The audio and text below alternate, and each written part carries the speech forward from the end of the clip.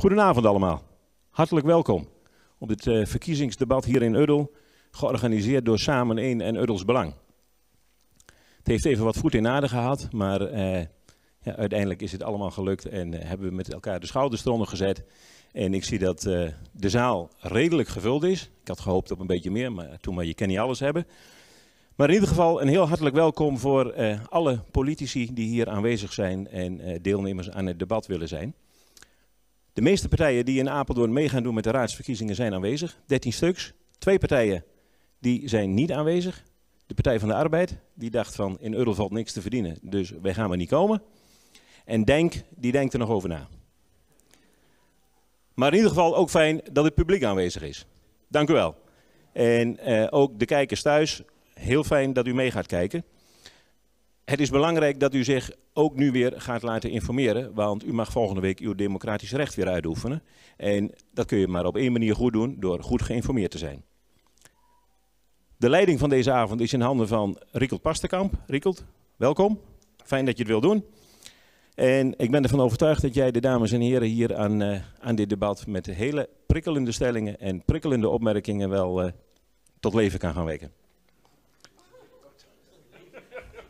Jawel, dat gaat wel goed komen. En ook welkom voor de mensen van Samen 1. Fijn dat jullie hier met ons dit willen gaan doen. Dat zit ook in jullie naam, samen doen. Raadsleden en aanstaande raadsleden, jullie kennen de stellingen niet. Rikkel heeft het zojuist al gezegd. We hebben er ook bewust voor gekozen om de onderwerpen even voor onszelf te houden.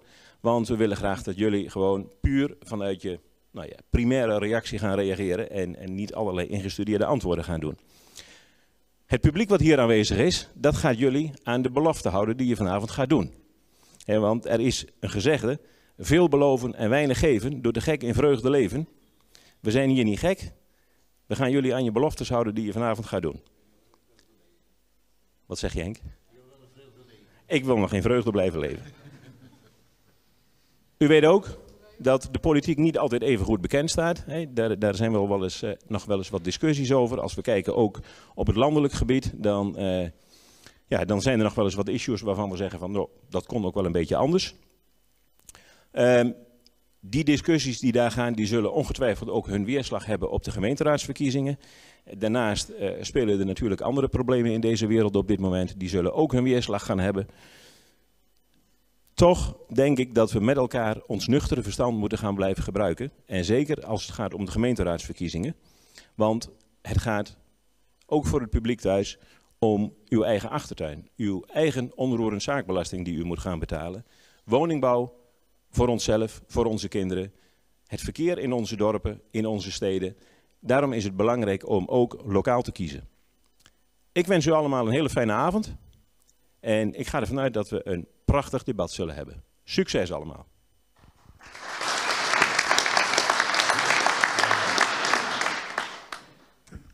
Dankjewel uh, Frank. Ja, ook goedenavond van mijn kant. Rico Pasterkamp, ik ben uh, freelance journalist. Uh, ik woon in Apeldoorn, dus ik mag ook stemmen op een van deze partijen die hier vanavond in de zaal op het podium zitten. Wij gaan straks debatteren aan de hand van stellingen. die stellingen kennen de politici niet, die krijgen ze hier pas te horen. Dat doen we uh, met vier of vijf partijen in eerste instantie. En uh, ze hebben allemaal een rode kaart gekregen. En als ze vinden dat ze ook iets moeten zeggen over een bepaalde stelling, terwijl ze niet aan de tafel staan, dan mogen ze die rode kaart opsteken. Dat zijn de spelregels voor vanavond. Uh, we zijn heel blij dat de mensen van Samen 1 bij ons zijn en dat u met ons verbonden bent. Ik heb ook begrepen dat we te zien zijn via de site van Omroep Gelderland. Dus in heel Gelderland uh, kunnen de mensen vanavond meegenieten met dit spektakel vanuit Uddel. Wij gaan de eerste ronde beginnen en daarvoor nodig ik aan tafel het CDA, de Partij voor de Dieren, Wij Apeldoorn en GroenLinks. Geeft u ze een applaus.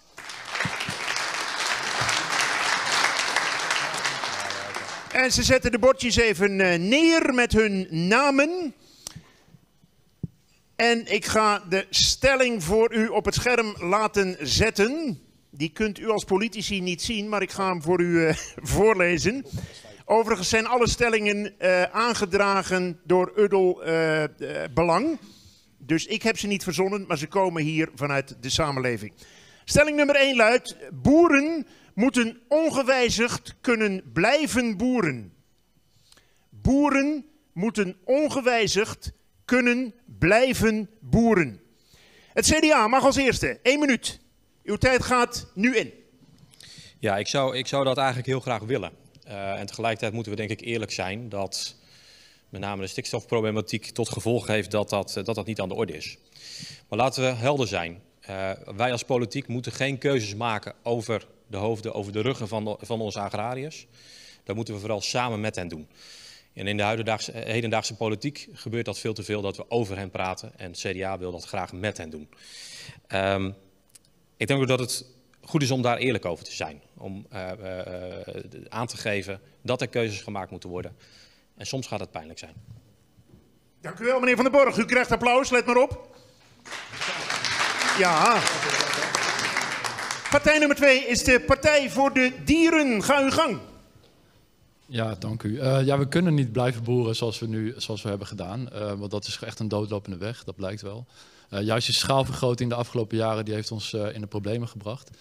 Um, maar wij zijn als Partij voor de Dieren um, ook heel erg voor de boeren. Wij zeggen altijd minder boeren, maar meer dieren. Um, dus stop de schaalvergroting en ga vooral ook met de natuur boeren. Dus natuur inclusief, landbouw en natuur. Het zijn niet twee verschillende dingen. Als we dat samen zouden kunnen doen, dan zijn we al uh, een heel eind, denk ik. Dank u wel. Wow. U krijgt ook applaus. Dan gaan we de volgende partij, dat is Wij Apeldoorn. Ga uw gang. Ja, dank u wel. Ja, het is natuurlijk een valse tegenstelling. Want boeren hebben nooit inderdaad eh, iedere keer op dezelfde manier geboerd. Verandering is natuurlijk een continu iets in, in de agrarische industrie. Als we nog op dezelfde wijze zouden boeren als 100 jaar geleden, dan zouden we natuurlijk nooit genoeg eten. We moeten wel beseffen dat we natuurlijk de agrarische sector een bepaalde opdracht hebben gegeven. En zeker ook, als ik het hoor eventjes de betoog van de Partij voor de Dieren.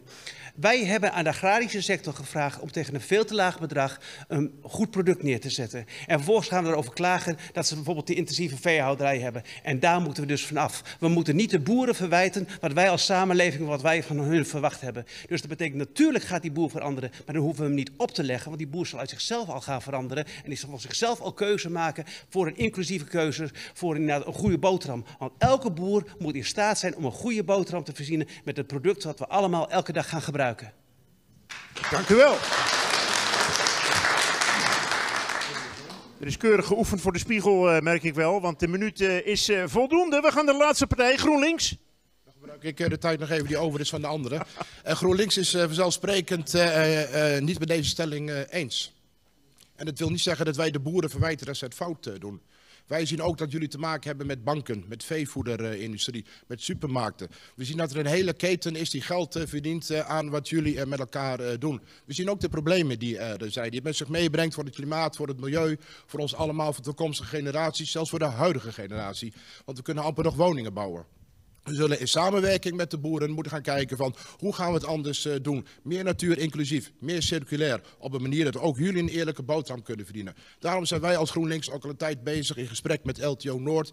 Hè, en waar ook deze regio onder valt. Om te kijken waar kunnen, wat kunnen wij voor elkaar daarin uh, betekenen. En dat is volgens mij wat we samen moeten doen. Samen een mooie toekomst gaan uh, doen. Waarin je steeds kan, kan boeren. Maar dan op een manier waar je zelf ook veel plezier in hebt. En ook de andere mensen veel plezier in heeft. Ik heb geen tijd meer. Nee, goed gezien. Maar dank u wel. Uh, jullie mogen nu met elkaar in debat gaan. Je mag dus aan elkaar ook vragen stellen. Meneer Huizer, u zei, uh, ja, ik heb, ben in gesprek met LTO. Waarover eigenlijk? We zijn met de LTO in eh, gesprek omdat wij een, een plan hebben eh, gemaakt eh, hoe je ook het op een andere manier kan doen. En dan bijvoorbeeld ook in combinatie met het opwekken van zonne-energie. Er zijn niet hele weilanden vol, hele dorpen vol, maar een hectare per, per boer. Mm. Ik geloof dat we iets van tussen de 15 en 1700 boeren hebben in de hele gemeente van uh, Apeldoorn.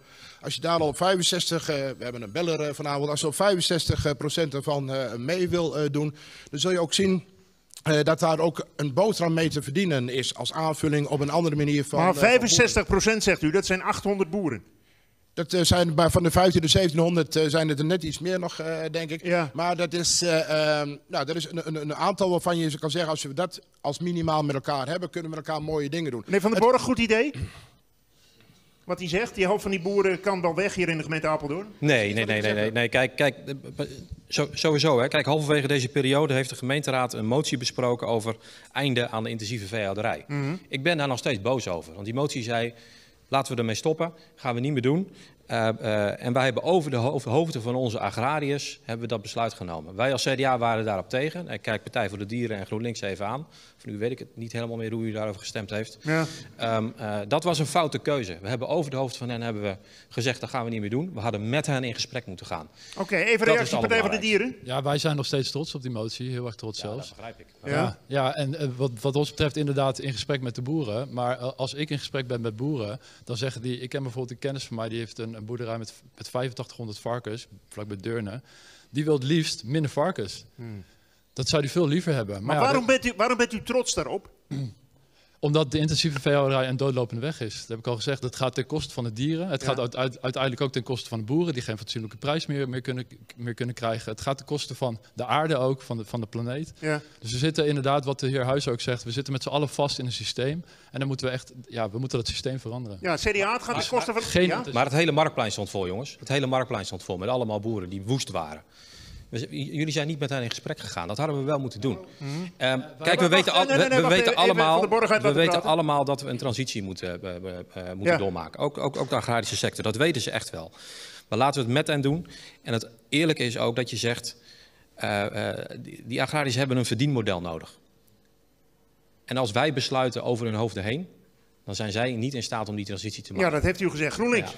Nou, we hebben onder andere voorspraken ook van, de, uh, van de GroenLinks hebben we een, een, een, een raadswerkgroep gehad die hier met dit thema aan de gang is gegaan. En die hebben juist heel veel boeren gesproken. En ook de, de vee-industrie, de veevoederindustrie ja, hebben ze gesproken. Nee, dat heeft, een, dat heeft een, een geruime tijd heeft dat geduurd en heeft geleid tot, een, tot een, een, mooie uitkomst met elkaar. En we hebben zelf ook de Tour de Boer gehad. Ik weet nog dat ik hier was in, in Url bij een boer. Ik heb de afgelopen zaterdag nog een patatje gehaald. Volgens mij heet dat het Vossengat uh, daar. Die man die heeft gewoon zijn eigen biologische aardappelen en die koop je bij hem al, al, als frietje. Moest kijken wat een afstand dat aflegt, hoe mooi dat uh, is. Dat is een mooi initiatief. Ik ben op zijn erf uh, geweest. Als je kijkt hoe die bezig is met het, het, het oerras weer terug te kweken bij runderen en dergelijke. Dat is een hele andere manier van omgaan met, met dieren okay, en, en, met alles wat erbij hoort. Even naar bij Apeldoorn. Ja, kijk, Ooit zei Apeldoorn dat ze graag een toeristisch toplandschap wilden zijn. Nou, voor mij mogen we een agrarisch toplandschap zijn. Ik ben ook trouwens heel blij trouwens wat mijn collega Groter zegt. Dat hij een kennis heeft die inderdaad een, een uh, varkenshouderij heeft. Dan weet je namelijk waar het over gaat. En wat doen wij? We gaan een één keertje kijken en denken dat we met een soort autoriteit kunnen spreken over de agrarische sector. Ja. Ik weet er helemaal niks vanaf. Ik ben afhankelijk van de kennis van de mensen die hier werkelijk wonen, van de agrarische zelf. Laten we eens aan hun vragen wat zij denken. Want waarom zou ik als politicus die één keer een half uurtje meekijkt kijkt uh, vanaf een bus, uh, pretenderen dat ik de wijsheid in pacht heb. Ja, we gaan even naar een inspreker, want u heeft uw rode kaart opgestoken. Die mag u bij mij inleveren, dat u niet nog een tweede keer gebruikt. Zeg maar. Ja, voor gemeentebelangen is het uh, zo dat uh, wij af moeten van die druk die de politiek legt in de regels op de boeren. De boeren, dat is de meest innovatieve sector in Nederland. Eh, boeren die weten heel goed hoe het zit met milieu. En ik ben blij met de opmerking ook van de collega van het CDA dat ze zegt we moeten samen in gesprek met elkaar gaan om die sector te veranderen. Uh, wij zijn het als gemeentebelangen er niet mee eens dat we uh, dit soort uh, ambities hebben ten aanzien van milieu en stikstof en dergelijke. Omdat wij weten helemaal niet hoe dat precies zit met die stikstof. Um, ik blijf erbij, de boerensector en Apeldoorn voorop zou de agrarische hoofdstad van Nederland kunnen worden als we ophouden met het leggen van regeldruk bij boeren en ze gewoon aan de gang laten gaan met hun bedrijf. Oké, dank u wel. Agrarische hoofdstad van Nederland. Ja, iets, ja, GroenLinks. Ja, dan ben ik wel benieuwd hoe die andere 165.000 inwoners van Apeldoorn hierover denken als de kinderen geen woning meer kunnen krijgen. Maar ongetwijfeld heeft gemeentebelangen daar ook een oplossing voor die niet uitvoerbaar is. Ik wil even reageren op mijn collega van Wij Apeldoorn, want u zegt Misschien wel terecht dat we één keer daar op een bedrijf komen en dan denken de wijsheid de pacht te hebben. Maar dan denk ik, ga, gaat u dan zitten en laat dan een van de boeren het woord voor u voeren. Want die hebben dan volgens u de kennis in, in pacht. Ik denk dat wij hier als politiek, uh, uh, we zijn een lekenbestuur, maar we laten ons informeren. We hebben niet één keer een uurtje bij een boer geweest, we hebben heus wel meer tijd en energie erin gestoken. Uh, en ook op andere manieren kan je kennis, kennis op je halen. Dus om ons nou zo neer te zetten van, ja, we hebben er geen verstand van, we moeten alleen maar luisteren naar de nou, Even aan bij Apeldoorn, heeft u boeren op uw lijst? Op uw kandidatenlijst? Nee, ik heb geen agrariërs op de kandidatenlijst. Nee, op dit moment niet. Maar waarom dan niet? Want u zegt, ja, ik wil graag die kennis toch ook in huis Ja, hebben. ik zou ze heel graag op de lijst hebben willen hebben. Maar we zijn natuurlijk een startende lijst. En we, er waren nog geen mensen waar we contact hebben kunnen leggen. En ik wil eventjes de heer Huizen geruststellen.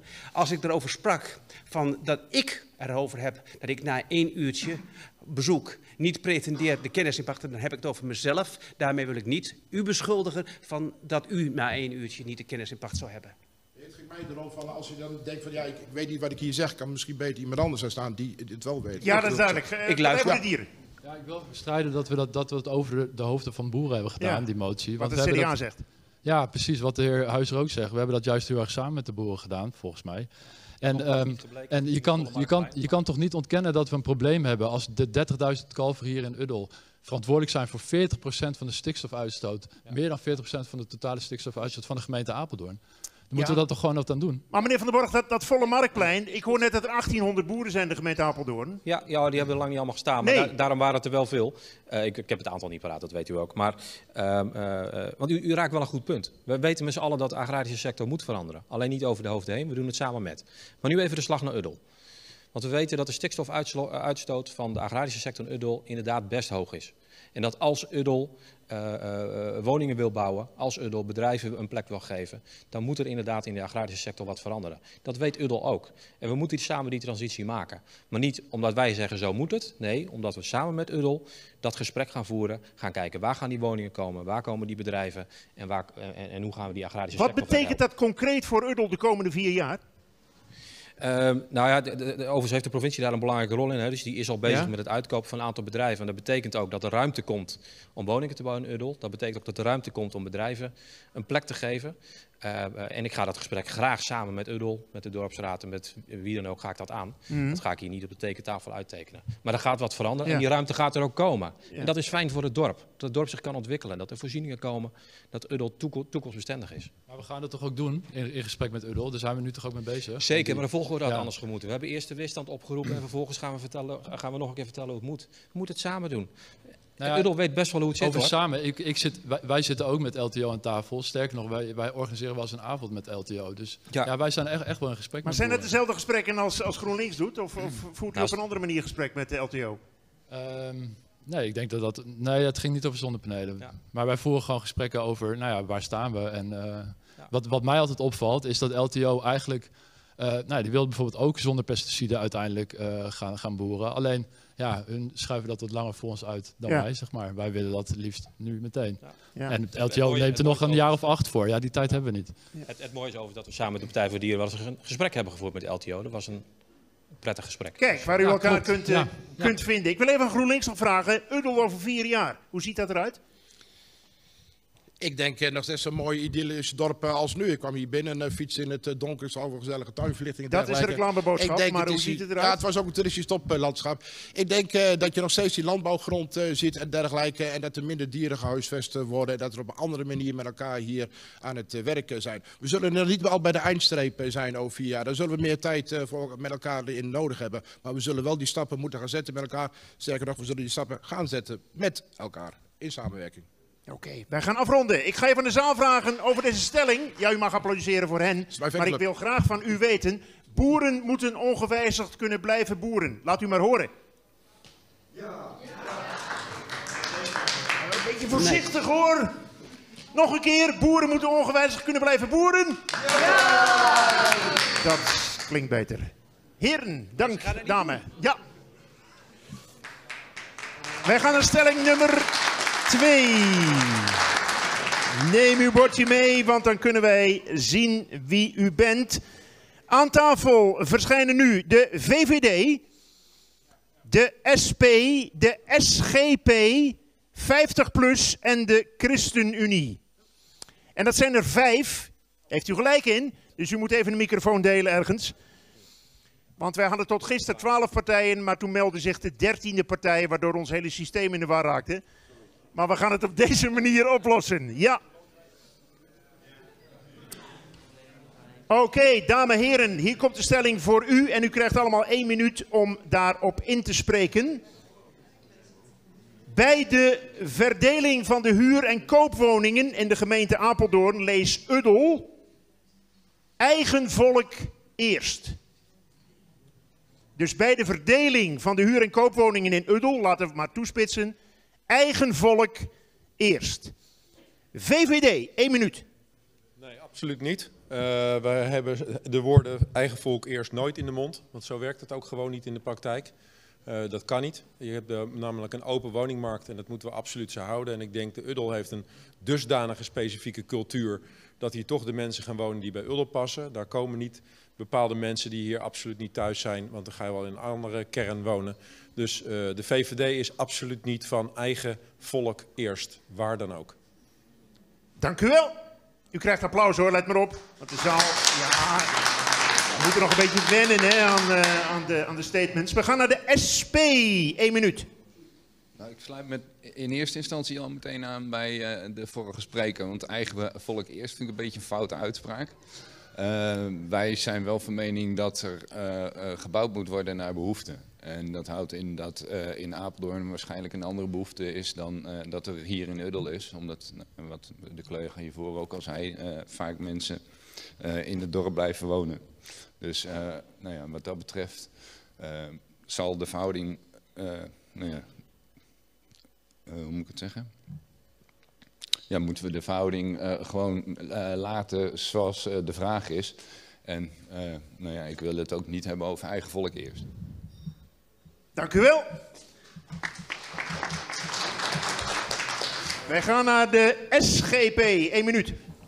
Ja, het grootste probleem voor Uddel als het gaat om woningbouw is eigenlijk dat er te weinig woningen worden gebouwd. Daar wil het SGP de nadruk op leggen.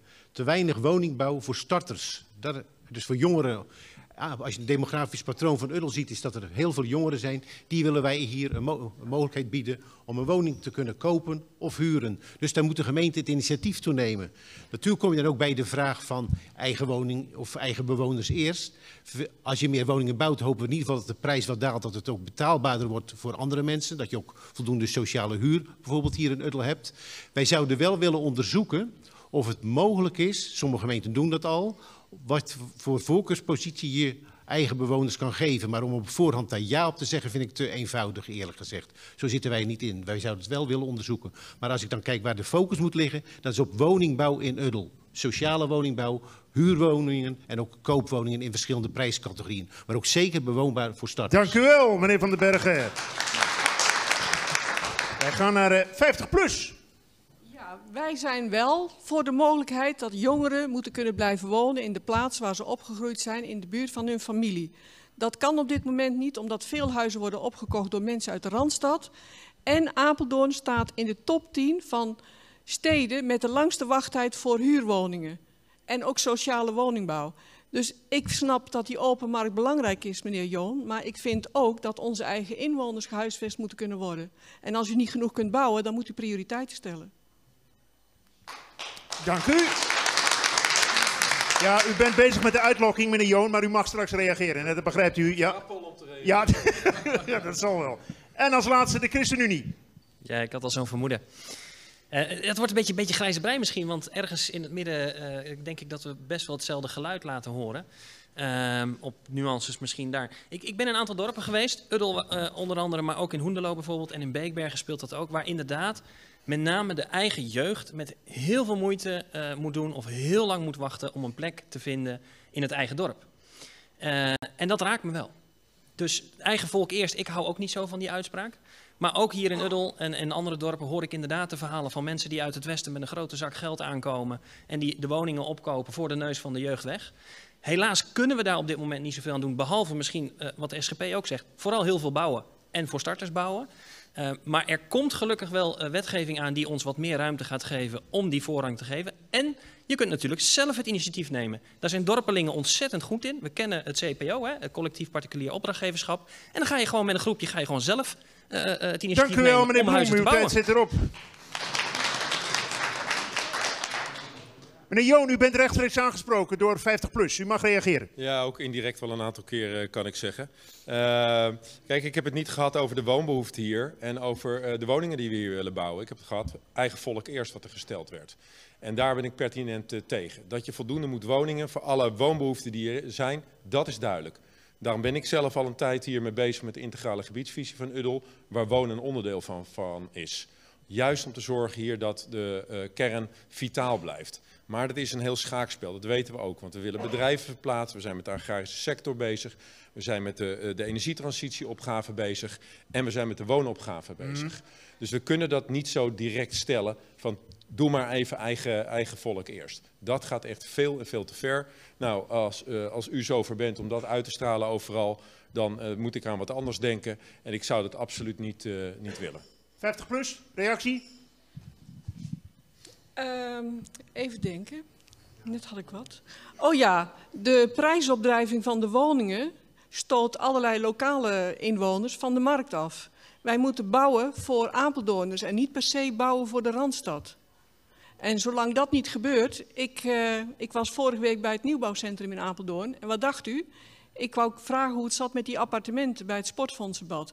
Dat worden stadsvilla's, oppervlakte 185 tot 195 vierkante meter.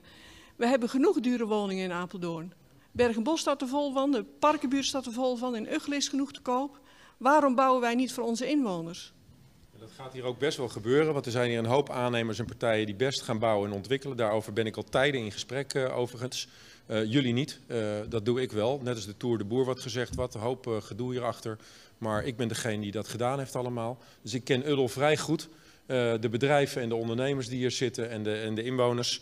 Hand in hand doen we dit samen de komende periode. Maar even heel concreet dan. Uh, hoeveel woningen worden hier de komende vier jaar gebouwd? Wij hebben geen contingent alleen voor Uddel. We hebben 650 woningen in het buitengebied gezegd en we gaan naar behoefte bouwen. SGP? Wat de SGP betreft komen er hier echt ook heel veel woningen. in Apeldoorn moet tussen zeg maar nu en 15 jaar ongeveer ruim 10.000 woningen bouwen, ruim 12.000.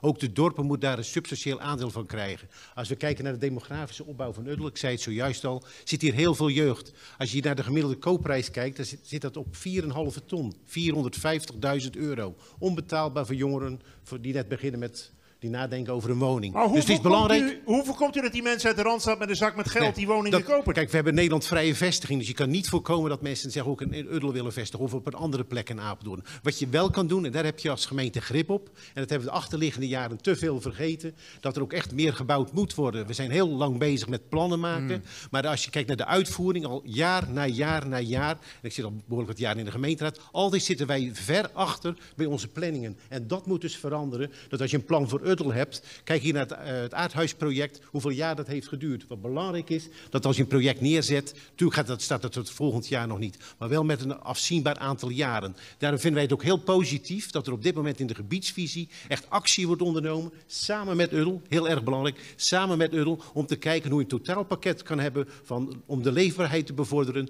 hoe je boeren een zo goed mogelijk toekomstperspectief ja. kan bieden. Uh, sommige boeren willen ermee stoppen, maar daar kun je misschien met woningbouw wat mee doen, dat je ook in Apeldoorn of in Uddel daarmee gewoon echt woningen kan bouwen. Oké, okay, punt. Uh, meneer Bloem, ja? ja? Nieuws. Um, nou, even, even aansluiten. En ook wel een vorig onderwerp. Hè. Toen hadden we het over landbouw. En het is inderdaad een, een puzzel. Het is een schaakspel.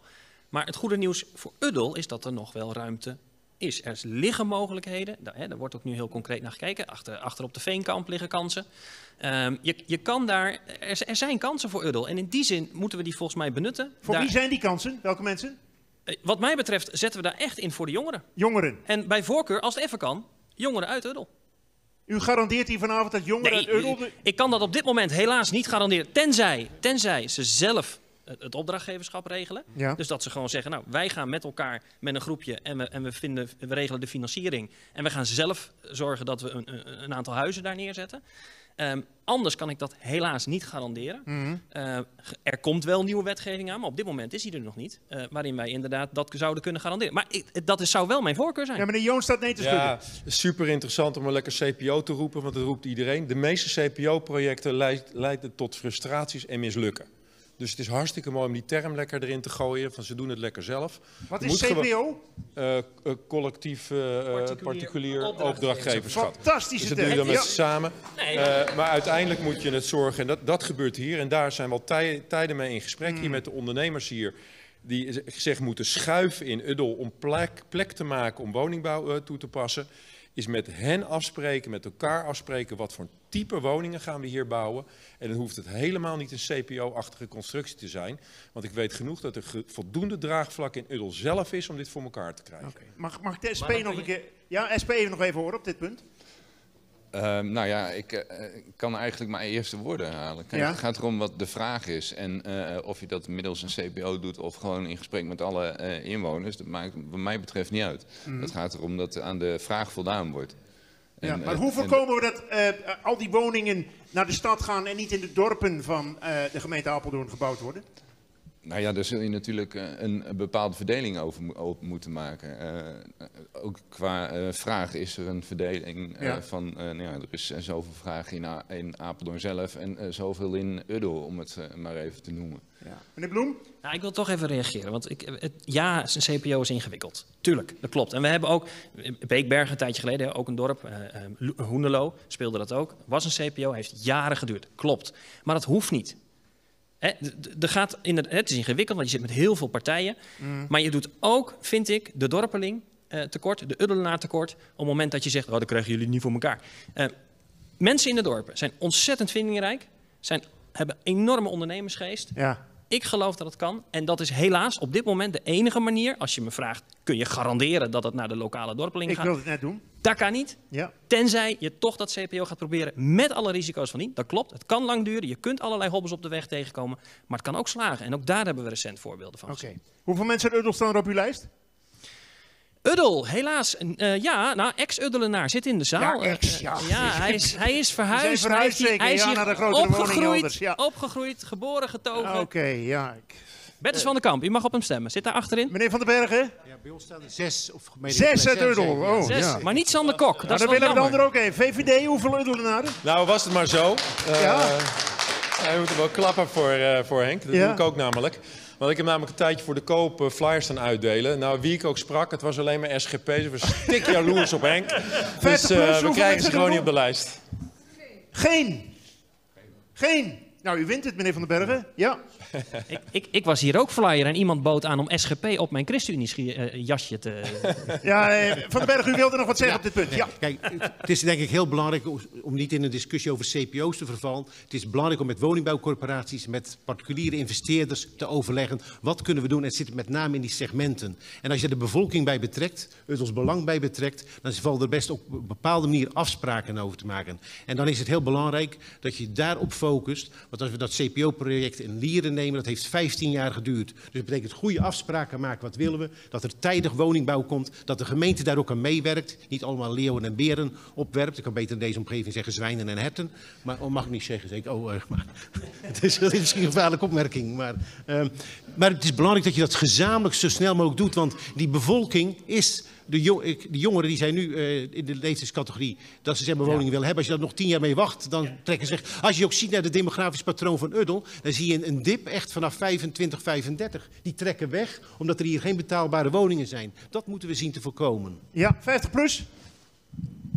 Ik zou er ook voor pleiten om te zorgen dat de afspraken die je maakt met projectontwikkelaars, dat er een harde eis in komt van 40% sociale woningbouw of sociale koop. Hmm. Nu worden de uitgangspunten wordt het wel uh, hoog gesteld. Maar gaandeweg het project wordt het afgezwakt en afgezwakt, omdat anders het verdienmodel niet klopt. Nou, daar ben ik uh, wel heel erg kritisch op. Meneer Joon, laatste woord. Ja, dat hebben we al vastgelegd uh, met de Raad. Dus dat, dat ligt al vast in die woonagenda. Dus het is 35% goedkoop, 35% midden en 30% duur. Dus daar hoeven we niet meer bang over te zijn. Dat hebben we al lang uh, vastgelegd met elkaar. Er is één manier om te zorgen dat een huis alleen aan een Uddelenaar verkocht wordt. Is door het met Uddelse bedrijven of Uddelse wooneigenaren het alleen maar aan het eigen volk te verkopen. Het lijkt me niet gezond. Maar dat is de enige manier. Dan moet je ook niet gaan voor de topprijs, omdat er een of andere westeling komt die denkt, nou, kost me helemaal niets. Ik heb mijn rijtjeshuis in Amsterdam verkocht voor uh, een half miljoen en hier koop ik uh, voor een half mm. miljoen koop ik een vrijstaande villa. En een particulier verkoopt het dan aan diegene. Dan moeten ze dat ook zelf niet doen. Oké, okay. naar let op uw zaak is de boodschap. Dank u wel. Geef ze een applaus. Ja, en uh, nou, we zijn hier in Uddel vanavond en het woord is aan u, want uh, wij hebben wel stellingen verzonnen, maar misschien heeft u wel vragen aan een van de dertien politici. Die, ja, kom maar even naar voren, er staat de microfoon. Zeg even uw naam en aan wie u uw vraag heeft. En hou uw vraag kort en krachtig. Ja, dat zal ik doen. Ik ben Piet van Beek. Ik ben uit het Westen hier komen wonen, 32 jaar inmiddels, mijn uh, buurman. Uh, met veel genoegen. Ik heb wel een vraag. Als de agrarische sector 50% reductie door innovatie kan krijgen en tevens de energietransitie goed maakt, wat is dan de mening van de partijen over dat de boeren gewoon kunnen blijven en we niet uit de pot van de provincie hoeven te plukken, ja. alle gelden? Dat is ook nog goed voor de burger, voor de belasting. U mag er twee kiezen. Nou, de eerste. Van, mogen de boeren blijven als ze 50%... Nee, welke partijen wilt u? Twee mag u er kiezen. Uh, CU. CU. En, uh, nou ja, gemeentebelang dan maar. Het lijkt wel zo'n ijscotent dat je zegt die bolletje en... Uh, ja, ja Christen, mag beginnen. Ja, maar ik heb de vraag niet goed gehoord. Sorry. Kan iemand of u zelf? Of... Oh, heeft u de vraag niet gehoord? Nou, wilt u hem nog een keer stellen dan en goed hard praten? Ja, dat zal ik doen. Ja? Gaat het zo goed? Iets beter. Ja, ja.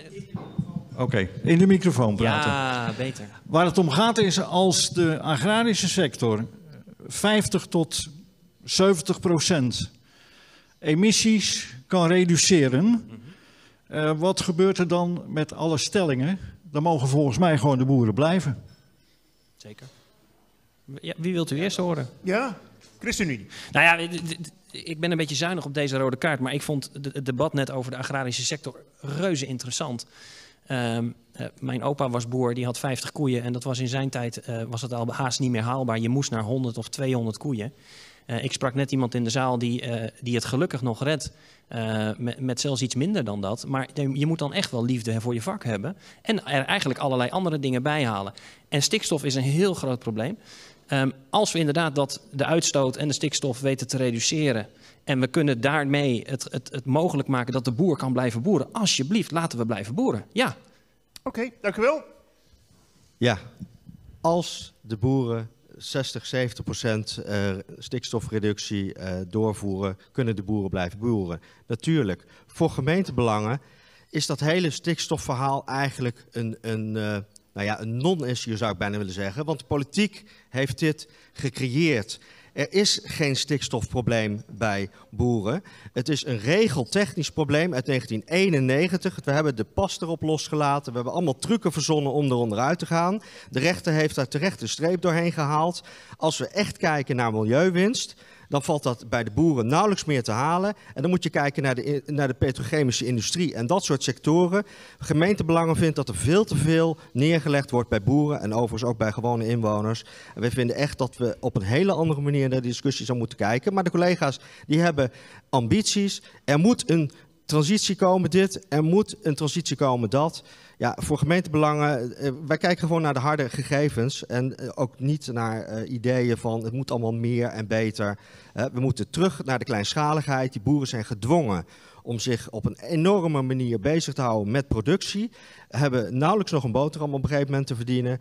En daar Wilt zit heel veel druk op. Dus voor gemeentebelangen is, is, moeten we op een hele andere manier naar die sector gaan kijken. Ja, helder. Uh, waar is de vraagsteller? Tevreden? Ja. Andere vraag. Ga uw gang. En u mag weer gaan zitten. Voorstellen of niet, heb ik straks al gedaan. Uh, ik heb zo, zojuist even met heel veel interesse naar het debat over de woningbouw geluisterd. En wat betreft het bouwen van statuswoningen, seniorenwoningen. Ik denk dat we dat de komende vier jaar met de komende coalitie wel voor elkaar gaan krijgen. Tenminste, als ik zo een beetje rondkijk hier. Ik zie allemaal knikkende hoofden. Ja, komt goed. Dat is een belofte, hè? Vasthouden mensen. Het andere ding waar ik het wel even over wil hebben, en waar we nog niet aan toe zijn gekomen, zijn de huurwoningen. Uddel is nou niet een dorp wat bekend staat om een grote hoeveelheid huurwoningen. Maar die er zijn, die moeten we wel vasthouden voor de Uddelenaar. En we zien nu dat, ik zie al wat hoofdjes heen en weer gaan, maar we zien dat er nu regelmatig mensen in huurwoningen komen die we gaan de redenen allemaal niet noemen, maar om hele diverse redenen ergens geplaatst gaan worden. En daar zien we echt wel een mismatch in de wijken ontstaan. En dat zijn dingen waarvan we in Uddel zeggen van daar moeten we zelf wat mee doen. Daar hebben we onder andere de stichting Uddel Samen voor, die daar wat mee kan. Maar daar hebben we ook de hulp van de politiek bij nodig. En ik wil graag van jullie horen, hoe kunnen we dat met elkaar beter regelen... Okay. zodat de huurwoningen eerst beschikbaar komen voor de mensen uit Uddel. U mag er ook twee kiezen. Ja, want anders zit hij weer om middernacht nog. Ik wil dat horen van meneer Joon. En ik wil het horen van... Ik zag Ben Bloem zo hevig schudden. Laat Ben ook maar even wat zeggen. Heren, meneer Joon mag beginnen. Ja, goed, eh, goed punt als dat zo is. Ik, eh, ik heb onvoldoende kennis van de details van de eh, huursector hier. Dus eh, dat weet ik niet, maar ik kan wel zeggen dat ik me daar dan in eh, zal verdiepen voor u. Eh, ik begrijp het. Eh, ik weet niet of het de vrije huursector is of de eh, sociale huursector. Nou, dan moeten we daar naar kijken. We hebben natuurlijk een enorme opgave met z'n allen. En die willen we niet alleen in de stad waarmaken. En we willen niet eh, alleen maar bepaalde eh, mensen in bepaalde eh, buurten stoppen, zeg maar. We verdelen dat netjes, dat je ook een samengestelde wijk eh, krijgt wat dat betreft. Nou ja, als dat doorslaat, is dat niet goed. We weten allemaal wat daar gebeurt. Hè. Dat hebben we ook in de, in de stad, zullen we maar zeggen. Er moet een gezonde mix zijn. En eh, als jullie hier bang zijn dat dit de verkeerde kant op gaat, zeg maar, doorslaat, te eenzijdig wordt, dan moeten we daarover met elkaar in gesprek. En wij kunnen ook met de woningcorporaties in gesprek daarover, want daar kan je gewoon afspraken over maken. En ook met de sociale partners. ChristenUnie. Ja, er zijn afspraken met de uh, woningcorporaties. En die zijn niet eens alleen voor Apeldoorn, die zijn voor de hele stedendriehoek. Um, en dat maakt hem tegelijkertijd meteen ingewikkeld. Dus als je vraag is, kunnen wij uh, zeg maar het zo regelen dat ook de sociale huur in eerste instantie naar Uddelen gaan, dan, dan, dan vind ik die echt heel lastig. Want er is een enorm tekort in heel Nederland, maar binnen die hele stedendriehoek, juist voor die sociale huur. Daarom vinden wij ook dat je juist daarvoor zou moeten bijbouwen. Maar zolang dat tekort er is, moet je die schaarste zo eerlijk mogelijk verdelen. Uh, en ja, enerzijds is dat misschien locatiegebonden, maar anderzijds is, kan er ook best zijn dat er iemand in een ander dorp al twintig jaar wacht. Uh, uh, en die zou dan gepasseerd worden door iemand in Uddel die dan nog maar net een jaar uh, of een half jaar op zoek is naar een woning. Dus dan, die vind ik ingewikkeld. Je andere punt, en dat gaat over die mismatch, dat is niet alleen van Uddel. Dat, dat, speelt in heel veel wijken. Uh, sociale huur gaat vaak naar kwetsbare mensen. Ik zeg maar gewoon even mensen met een rugzakje, mensen soms met een andere culturele achtergrond, die soms misschien niet uit het dorp komen, die niet weten hoe, wat hier de mores is. Ik vind dat we daar wel een verantwoordelijkheid hebben. En als je het hebt over afspraken met woningcorporaties, die kunnen we wel maken. dat als je ergens iemand plaatst, hè, want dat is het dan, hè, dat je in ieder geval zorgt dat iemand goed landt, dat er voldoende ondersteuning is. En ja, er gebeurt hier in Uddel fantastisch uh, vanuit Uddel samen. Ehm, maar dat gebeurt niet overal. En misschien kan je daar als Uddel samen ook wel wat hulp bij gebruiken. van een woningcorporatie, van de gemeente, van andere instanties. Daar kunnen we wel aan werken met elkaar. Oké, dank u wel. Ja, nee, u mag niet inspreken, want het is keuze hier. Dat inspreken is alleen maar de stellingen. Ik ga naar de laatste vraag vanuit de zaal. Als die hier is tenminste. Ja, meneer achterin helemaal. Trek even een sprintje naar de microfoon. Dat gaat helemaal lukken.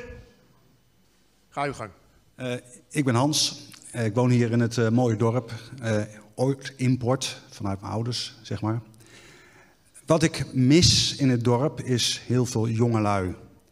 Um, ik, heb het zelf, ik heb zelf ook kinderen. de ene die woont nu in Duitsland. er wonen nog twee thuis. En die zouden graag ergens anders naartoe komen, maar dat is gewoon niet te betalen. Wat een neveneffect van dit alles is, is in feite ook dat het verenigingsleven volledig op zijn, nou ja, naar zijn grootje gaat. Uh, waar je het van moet hebben, die zijn er niet.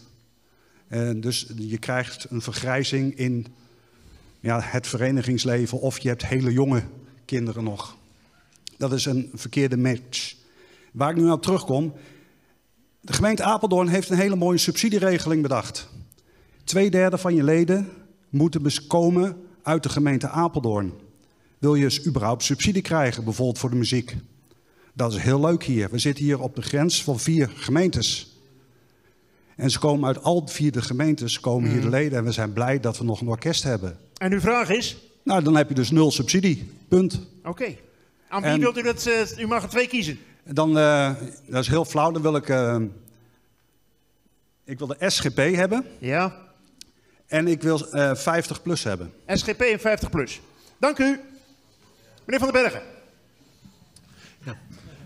Dat er jongeren hier wegtrekken, dat probeer ik net ook aan te, te geven. En je ziet hier echt een mismatch met de woningbouw en de beschikbaarheid voor woningen voor, voor jongeren. Daarom zie je dat jongeren het niet kunnen betalen en wegtrekken. Dat het heel belangrijk is voor het verenigingsleven, onderschrijf ik van harte. Ik ben zelf hier ongeveer tien jaar voorzitter geweest van een organisatie die zich richtte op jongeren. En dat was een organisatie, daar werkten de, sportverenigingen in de kerken, de scholen samen om na te denken wat kunnen wij hier voor jongeren in Apeldoorn op verschillende manieren betekenen. Ook Uddels Belang deed daar aan, uh, aan mee. Dus dan zie je dat het belangrijk is om jongeren bij, uh, bij de, het, het, het, het sociale leven in Uddel te betrekken. Dat is moeilijk. Zeker als je ze hier niet vast kunt houden. Dus het begint ook hier weer toch echt met die woningbouw. Dat is heel erg belangrijk. Als u dan zegt over die subsidies, dan snap ik wel dat dat, uh, dat zijn de gemeentelijke subsidies. En dat speelt, dat speelt niet alleen in Uddel, maar dat geldt ook in, in, voor meerdere verenigingen. Ik vind dat wel een belangrijk aandachtspunt om daar goed naar te kijken of dat een, uh, want ik kan me voorstellen dat dat ook zeker in meerdere dorpen speelt. Want in dorpen heb je ook minder, uh, minder jongeren waaruit je kan recruteren voor bepaalde verenigingen. Of je daar toch een mouw aan kan passen, eventueel in samenwerking met andere gemeenten. Want we werken ook op veel terreinen samen met andere gemeenten. Dus op dit moment is dat niet heel makkelijk te regelen. Maar ik vind het wel een belangrijk aandachtspunt om mee te nemen of je kan kijken of je dat kan onderzoeken. Omdat toch te stimuleren dat er op dat vlak wat mogelijkheden zijn voor subsidies. Oké, okay, we zetten hier een punt, 50 plus. Uh, wat meneer beschrijft zijn eigenlijk de gevolgen van een demograaf, de demografische gevolgen van onvoldoende woningbouw. Uh, we hebben wel vaker regelingen in Apeldoorn en in het hele land waarbij het doel van de regeling eigenlijk mis, een mismatch oplevert omdat dit soort activiteiten wel wezenlijk uh, belang zijn, ook voor de lokale verbinding en de sociale samenhang in het dorp. Dus ik zou zeggen, tijd voor maatwerk, ook voor subsidies uh, op dit gebied. Oké, dank u wel. Nee, u mag niet meer reageren, u mag één keer inspreken. Ik ga u uh, uh, bedanken voor het beantwoorden van de vraag en de vragensteller voor het stellen van de vraag. Dus wij gaan gauw verder met het grote verkiezingsdebat hier in het Blanke Schot in Uddel. En aan tafel staan D66, lokaal Apeldoorn, gemeentebelang in Apeldoorn en Forum voor Democratie. Ik ga hen de stelling voorleggen en dan mogen ze alle vier één minuut op reageren. In de gemeente Apeldoorn moeten alle ballen gericht zijn op de speelvoorzieningen in de dorpen. Dus in de gemeente Apeldoorn moeten alle ballen gericht zijn op de speel, tussen haakjes, voorzieningen in de dorpen. D66, één minuut. Speelvoorzieningen zijn heel belangrijk voor kinderen, maar niet alleen voor kinderen. D66 wil dat de ruimte uitnodigt om te bewegen, om ja, te wandelen, te fietsen, um, vanuit ook het oogpunt van gezondheid. We zien in Uddel, maar ook in heel Apeldoorn, te veel dikke kinderen, te veel kinderen met overgewicht, te veel ouderen met overgewicht. En bewegen, bewegen, bewegen is echt het enige wat echt goed helpt tegen ja, die welvaartsziekte van te veel ge gewicht. En dat levert ons allemaal weer extra kosten in de volksgezondheid op. Dus wat ons betreft, spelen, ja. Ook in Uddel, ja. Maar niet alleen in Uddel, overal. Dank u wel, u krijgt applaus.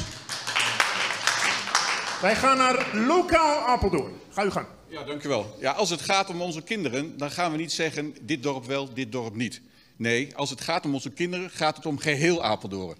Laat dat duidelijk zijn. En als we het hebben over speelvoorzieningen, dan bedoelen we daar dus onder andere mee voorzieningen voor onze kinderen. Het vergroenen van onze schoolpleinen. Maar het dus ook mogelijk maken om buiten in onze parken te gaan spelen, te gaan sporten. En dat zien wij als voorzieningen voor alle Apeldoorners. Dank u wel.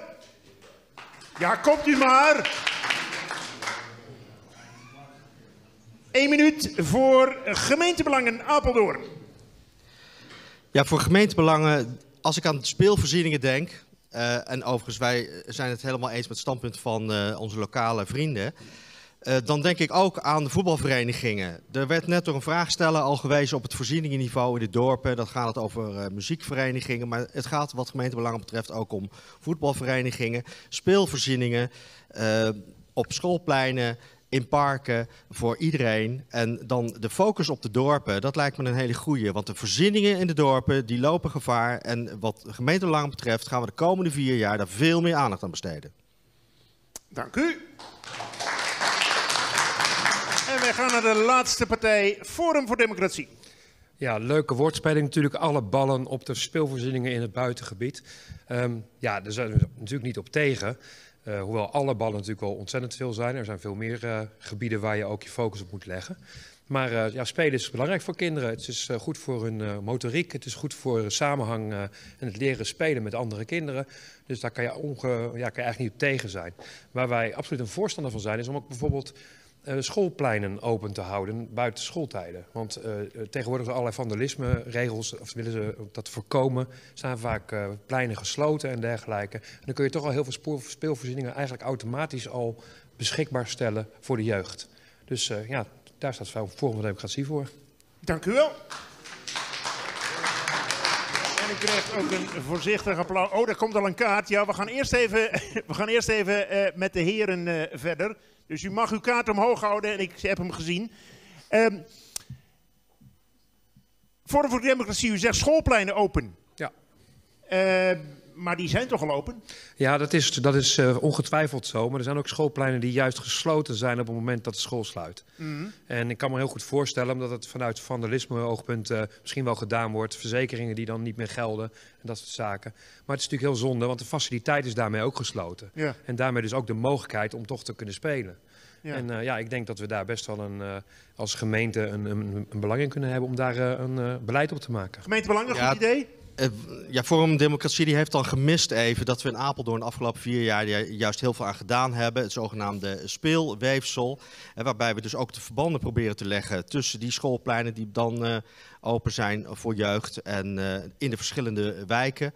Nou, dan moet je goed kijken hoe zit het dan met verkeersveiligheid en dergelijke. Maar het voorzieningenniveau, dat zie ik ook om me heen. En dat is de afgelopen vier jaar toch eh, beduidend eh, beter geworden. Dus ik denk dat wat dat betreft zijn we in Apeldoorn op de goede weg in het centrum van Apeldoorn. En deze stelling ging dan met name over de dorpen. En daarom heb ik gezegd van veel meer focus op het voorzieningenniveau in de dorpen. En daar ook veel meer aandacht besteden aan dit soort speelvoorzieningen. Ja, meneer Wenskowski. ehm, de focus is dat de stad heel veel krijgt, de stad Apeldoorn, en de dorpen heel weinig. Klopt dat? Nee, volgens mij klopt dat niet. Ook de dorpen krijgen absoluut hier een, uh, hun aandeel in. Uh, wat je heel vaak ziet bij dit soort activiteiten is dat het initiatief ook vanuit de dorpen zelf kan komen. Mhm. He, dat zie je onder andere in de Wenen-Wiesel, dat zie je onder andere in Loenen. Die initiatieven kunnen heel goed en met, met ondersteuning van de gemeente zelf geïnitieerd worden. Ja. En de gemeente kan daarbij helpen. Ik heb wel een, een opmerking op uh, de heer van de Forum. Dat mag, ga je gang. Ik heb uw verkiezingsprogramma gelezen over sport. Het thema wat u zojuist noemde over sport, dat hebben we afgelopen dinsdagavond ook bij het sportdebat gesproken. Dat heeft u zelf niet bedacht, dat heeft een van uw collega's bedacht. Ja. Dus ik vind het jammer om dat copy-paste te horen. In uw verkiezingsprogramma staan zes bullet points over sport. Die heeft u copy-paste van allerlei gemeentes gedaan. Want als we uw verkiezingsprogramma in Apeldoorn lezen, weten we hem direct van heel Nederland. Lekker makkelijk. Vier daarvan doen wij al in Apeldoorn.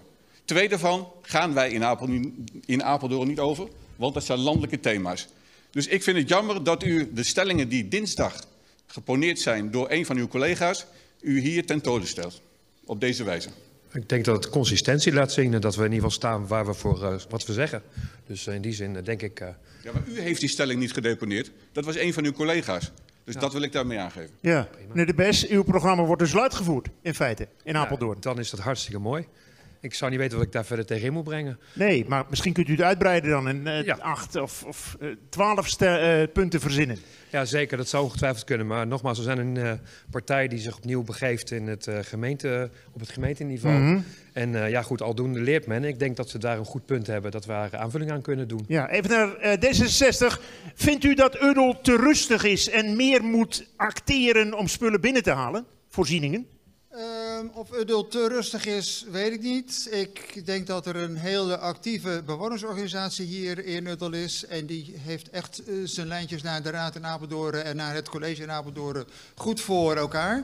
Dus ik denk dat Udel heel goed de weg weet om de dingen te bereiken die Udel wil be bereiken. Ja. Uh, misschien beter dan een aantal van de andere dorpen zelfs. En... Um, maar ja, het kan natuurlijk altijd, altijd uh, beter. Wij willen meer leven in de stad. Wij willen bewegen. En waar er behoefte aan is, ook meer leven in de dorpen. En um, dus ik zou zeggen, Udel, kom maar op. Oké, okay. Kom maar op. Nou, die zou ik niet op laten zitten. We hebben een inspreker. Ga je gang. Zeker. Ja, voorzieningen volgen natuurlijk inwoners, laten we duidelijk in zijn. En als je natuurlijk het niet bouwt voor jonge mensen en zorgt dat de gezinnen hier niet geen plaats meer hebben, dan gaan dus de scholen weg. Dan heb je ook geen schoolpleinen op je kunt spelen. En wat heb je aan speeltoestellen als er geen jonge mensen hier in het dorp kunnen wonen die er gebruik van kunnen maken? Voorzieningen volgt inwoners. Gaat je dorp verouderen, zul je zien dat de voorzieningen wegtrekken. En hetzelfde gebeurt zelfs met voorzieningen voor de jeugd. Dus met andere woorden, hangt samen. Je moet gewoon goed gaan bouwen in de dorpen. En bij Apeldoorn stelt er ook voor dat we zelfs een dorp erbij gaan bouwen. Want alleen met dappere plannen, waarbij er gewoon woningen komen voor jonge mensen en voor mensen die wat ouder zijn. Alleen op die manier kun je ook de voorzieningen redden. Niet door hulp van beleid. Maar wat heb je aan een voorziening als er niemand is die ervan kan genieten? Een dorp erbij bouwen, zegt u? Hoe heet dat? Weiland, nee, uh, wij, een dorp uh, ten zuiden van Apeldoorn. Ja, wij Apeldoorn. Het was een, ja, weiland, oké. Okay. En hoeveel woningen komen daar? 3000. En hoeveel voorzieningen? Die passend bij, de, uh, bij het dorp zijn. Dus alle, uh, de, ieder dorp krijgt de voorzieningen die bij het dorp hoort. Ja. Wie wil er reageren? Want u hoort, ja, uh, als mensen wegtrekken, gaan ook de voorzieningen weg. Dus je moet dat bouwen en die voorzieningen zien te houden. D66? Wij willen de stad versterken, wij willen de dorpen versterken. Het dorp erbij is minder ruimte voor woningen voor Uddel. Dus we willen onze prioriteit leggen bij de bestaande stad, bij de bestaande dorpen, bouwen rond de bestaande voor, voorzieningen om die juist sterker te maken. Oké, okay, dank u wel. Dank voor uw uh, inspraak. We hebben er nog één aan deze kant. Ga uw gang. Ja, fijn dat we het allemaal over bewegen hebben en overgewicht. Ik denk dat ik de enige ben die op de fiets is hier vanuit uh, Apeldoorn. Maar dit geheel uh, terzijde. En daar we de rode kaart. Prachtig entree was het, hè, Nudel? Ja, ja, ja, ik vond het echt geweldig. Heel, de aardhuis is wat te donker om te fietsen, maar dat is wel beter voor het wild. Dus helemaal, helemaal goed. Nee, wat ik nou mis in dit gesprek over speeltoestellen en dergelijke, is de veiligheid. Gewoon de veiligheid van jullie kinderen om buiten op straat te kunnen spelen. En dat betekent dat de automobilisten wat langzamer moeten rijden.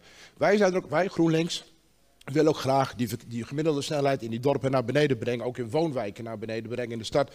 Zodat de hele terrein waar je woont gewoon een speel geeft. Meneer Huizer, die stelling komt nog. Gaat u, ja, gaat u zitten. nee, ja, nee, u hoort straks of u, of u nog mag. Ja, ik wil nog even een ander punt inbrengen. Nou, ik wil graag even kort hierop reageren. Nee, niet, niet op die snelheid. Nou, omdat uh, GroenLinks die wil kennelijk hier toch uh, het rubberen tegelparadijs introduceren. Ik denk oh. dat uh, Uddel met een enorm buitengebied uh, en een bosgebied en dergelijke... ik denk dat mensen daar juist hun, hun beweging en dergelijke krijgen. Oké. Okay. Ik wil even met u naar uh, Apeldoorn gezinsstad. Is Apeldoorn een gezinsstad? Absoluut. Waar blijkt dat uit? Nou, kijk eens naar Apeldoorn aan zich. Er zijn best wel veel leeftijdscategorieën in Apeldoorn. Jong, dan even een dipje, wat we straks al besproken hebben, een leeftijdscategorie. En daarna weer groei. Nou, dat dipje, die periode, die willen we graag met elkaar gaan opvangen. Hebben we straks al over gesproken hoe we dat denken te gaan doen. Ja. En we zien natuurlijk heel veel, in, met name in onze dorpen en aan de buitengebieden, heel veel re recreatiemogelijkheden. Mogelijkheden voor onze toerisme. Dus um, aan alle kanten absoluut Apeldoorn gezinsstad. Forum, mee eens? Apeldoorn ja. gezinsstad? Ja, absoluut. Ja. Je ziet dat uh, men hier opgroeit in een hele mooie groene stad. En dat je gewoon alle mogelijkheden hebt als kind. En uh, op een gegeven moment ga je studeren. En dan ga je dus naar een andere stad. Want je kunt hier niet echt studeren op een paar uh, universiteitjes na. En um, ja, dan ga je daar, ontmoet je je liefje. En uh, daar, uh, daar, uiteindelijk denk je van nou, daar gaan we een, een leven mee opbouwen. Ja. En als je dan zo'n 30 bent en je denk ik uh, wil weer kinderen. Dan denk je, ja, het was eigenlijk zo gek nog niet in Apeldoorn. En dan kom je weer terug. Maar vervolgens kun je geen huis kopen. Nou ja, dat is inderdaad het volgende probleem. Dus Ah, ja. ja. ja, dat klopt. En de voorstelling was dan inderdaad van eigen volk eerst. Dat heeft een hele slechte connotatie natuurlijk, Mm. vanwege de Janmaat die dat ooit gezegd heeft. Maar ja, er zit, er zit er is helemaal niet zo'n heel gek idee. Bedoel, uiteindelijk wil je toch dat je kinderen dicht bij je wonen. Ik ben zelf, uh, mijn ouders zijn in Helmond gaan wonen omdat TNO die kant op uh, verhuisde. Nou, nu is mijn moeder ziek. En nou kan ik haar, het is veel te ver weg om erheen te gaan. En met de huidige benzineprijs is het helemaal niet meer te doen, bij wijze van spreken. Nee. Dus kortom, we zijn allemaal door allerlei regelgeving uit elkaar getrokken. En wij zijn veel meer van de menselijke maat. Laten we gewoon dorpskernen gewoon weer dorpskernen zijn. En niet meer zo alles uit elkaar jagen, zodat je gewoon elkaar kunt helpen. En Helder. dat, Gemeentebelangen? Ja, voor gemeentebelangen en sociale cohesie heel belangrijk. En bij de term gezinsstad, uh, ja, dan moet je ook denken aan heel veel eenpersoonshuishoudingen. Hè, die we ook hebben in Apeldoorn. En uh, wellicht ook in, uh, in Uddel. Dus je moet de term gezin niet te beperkt uh, opvatten. En als je zo kijkt naar Apeldoorn, dan denk ik dat er voor elk gezin elementen in Apeldoorn te vinden zijn. uh, waar wij mee uit de voeten kunnen. En met een, een groot buitengebied, met ruimte. En uh, wat ons betreft Apeldoorn als uh, Florida van Nederland heb ik wel eens gezegd. En een beetje vergrijzing vinden wij ook helemaal niet erg. En die focus op, op, op groei en dan maar de lucht inbouwen en megalomane plannen met extra dorpen. Daar vindt gemeentebelang helemaal niks. Eerste basis op orde. Zorgen dat de zaken die we hier nog moeten regelen geregeld zijn. Herstellen van de corona-ellende. Ja. En dan pas naar het volgende hoofdstuk. Oké. Okay. Ja? Ik wil er graag even... Ja. Ik wil daar graag wel op reageren, want we kunnen natuurlijk wel gaan bouwen voor de leeftijdscategorie van 18 tot 25. Maar als we die kinderen niet kunnen bieden, geen hoger opleiding, geen universiteiten, dan gaan die hier niet blijven. Want die, juist die leeftijdsgroep wil natuurlijk gaan studeren en daarna een baan krijgen. En het liefst natuurlijk in Apeldoorn of omgeving. Dus laten we dat ook zeker niet vergeten. En ik wil er graag op aanhaken. Gezinnen kunnen wat ons betreft uiteraard ook twee heren, twee dames, allerlei andere combinaties van samenstellingen zijn. Oké, okay. D66. Hoger onderwijs ook hartstikke voor. Over de ge gezinsstad. Er wonen veel gezinnen in Apeldoorn en dat is mooi. Maar er wonen ook steeds meer mensen die zich niet in die term herkennen. En dat signaleren we ook. Um, we willen een inclu inclusieve gemeente zijn. Dus wat ons betreft is het een mooie marketingterm geweest van de afgelopen tien jaar. En bedenken we voor de komende tien jaar iets anders. Heeft u een suggestie? Inclusieve stad. Apeldoorn, inclusieve stad. Mag ik het applaus horen? Dank u wel, heren, voor uw inbreng bij deze stelling. Wij gaan naar stelling nummer 4. En daarvoor nodig ik uit Wij Apeldoorn, de ChristenUnie, Partij voor de Dieren en 50 plus. Neem uw bordje even mee, zet het voor u, dan kan in ieder zien wie u bent, voor welke partij u hier staat. Er is nieuw water, dus u kunt uh, weer gaan tappen. Ja, Oké, hier komt de stelling voor u en u krijgt één minuut om te reageren. Er komen geen extra windmolens in Apeldoorn. Er komen geen, en dan extra tussen haakjes, extra windmolens in Apeldoorn. Er wordt geapplaudisseerd vanaf de tribune. Dat mag natuurlijk ook, maar ik geef graag het woord eerst aan de ChristenUnie. Uh, niet eens met de stelling, sorry. Uh, voor alle mensen die applaudisseerden. Uh, we hebben gewoon een enorme energietransitie met elkaar te doen. We hadden het vanavond ook over, over stikstof. Eh, we hebben op dit moment in het hele gebied van Apeldoorn nul windmolens. Misschien blijven het een nul. maar ik vind het uitsluiten van windmolens voor bij wijze van spreken de eeuwigheid en voor het hele gebied van de gemeente Apeldoorn, wat best ruim is, vind ik veel te ver gaan. Daar, daarmee doen we onszelf tekort, daarmee doen we ook jullie tekort. Want het alternatief is meer zonneparken bijvoorbeeld. Zitten we ook niet altijd op te wachten. Dus als we ergens op een mooie plek een paar windmolens kunnen plaatsen... Uh, die voor goede groene energie zorgen en waar we zo min mogelijk last van hebben... moeten we dat vooral doen. Dank u wel. Wij gaan naar Wij Apeldoorn. Ga uw gang. Ja, uh, opwekking van energie is een industriële activiteit. Dus of je het nou hebt over windmolens, zonnepanelen, windturbines, het is een industriële activiteit. En dat doen we op industrieterreinen en niet in woonkernen. Dus dat betekent, wij Apeldoorn is daar duidelijk in. Ja, er kunnen best wel eens een keer windmolens komen, maar dat zeker niet in de buurt van woonkernen, maar bijvoorbeeld langs de snelweg, op industrieterreinen. Hetzelfde betreft de zonnepanelen, die kunnen prima op het dak van bedrijven, maar die hoeven niet uh, gewoon onze landbouwgronden te uh, verzieken. Dus heel duidelijk, Windmolens is een vorm van energieopwekking, is een industriële activiteit en hoort thuis op industrieterreinen en niet aan de kernen van wooncentra. Dank u wel. Ja, het wordt steeds minder het applaus. Kom op mensen. Heel goed. Partij voor de Dieren. Ja, wij zijn als eh, Partij voor de Dieren erg voorstander van windenergie. Alleen op dit moment lijkt het in Apeldoorn niet te kunnen. Um, omdat er, um, nou ja, vanwege, vanwege, de ecologie, de wespendief bijvoorbeeld, die leeft op de Veluwe. En um, om die te behouden en niet te storen, um, is er een, een, cirkel van 8 kilometer rondom de Veluwe waar, waarin windturbines niet mogelijk zijn. En wat wij ecologie heel erg belangrijk vinden, um, kiezen wij dus nu daarvoor. Dus ja, voor de eeuwigheid, ik weet niet of dat voor de eeuwigheid is, maar uh, misschien vinden we nog wat uit waarop, waardoor het wel kan. Maar voorlopig in ieder geval uh, niet dus.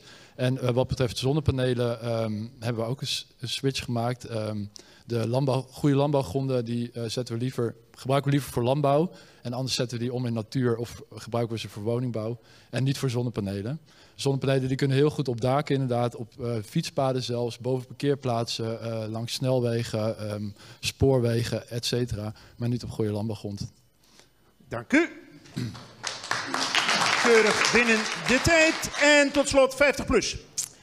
Uh, wij zijn tegen windmolens. Windmolens is een, uh, een energievoorziening die op dit moment de, het landschap hier op de Veluwe verwaarloost, of in ieder geval beschadigt. Terwijl wij een topbestemming zijn in Nederland voor het toerisme.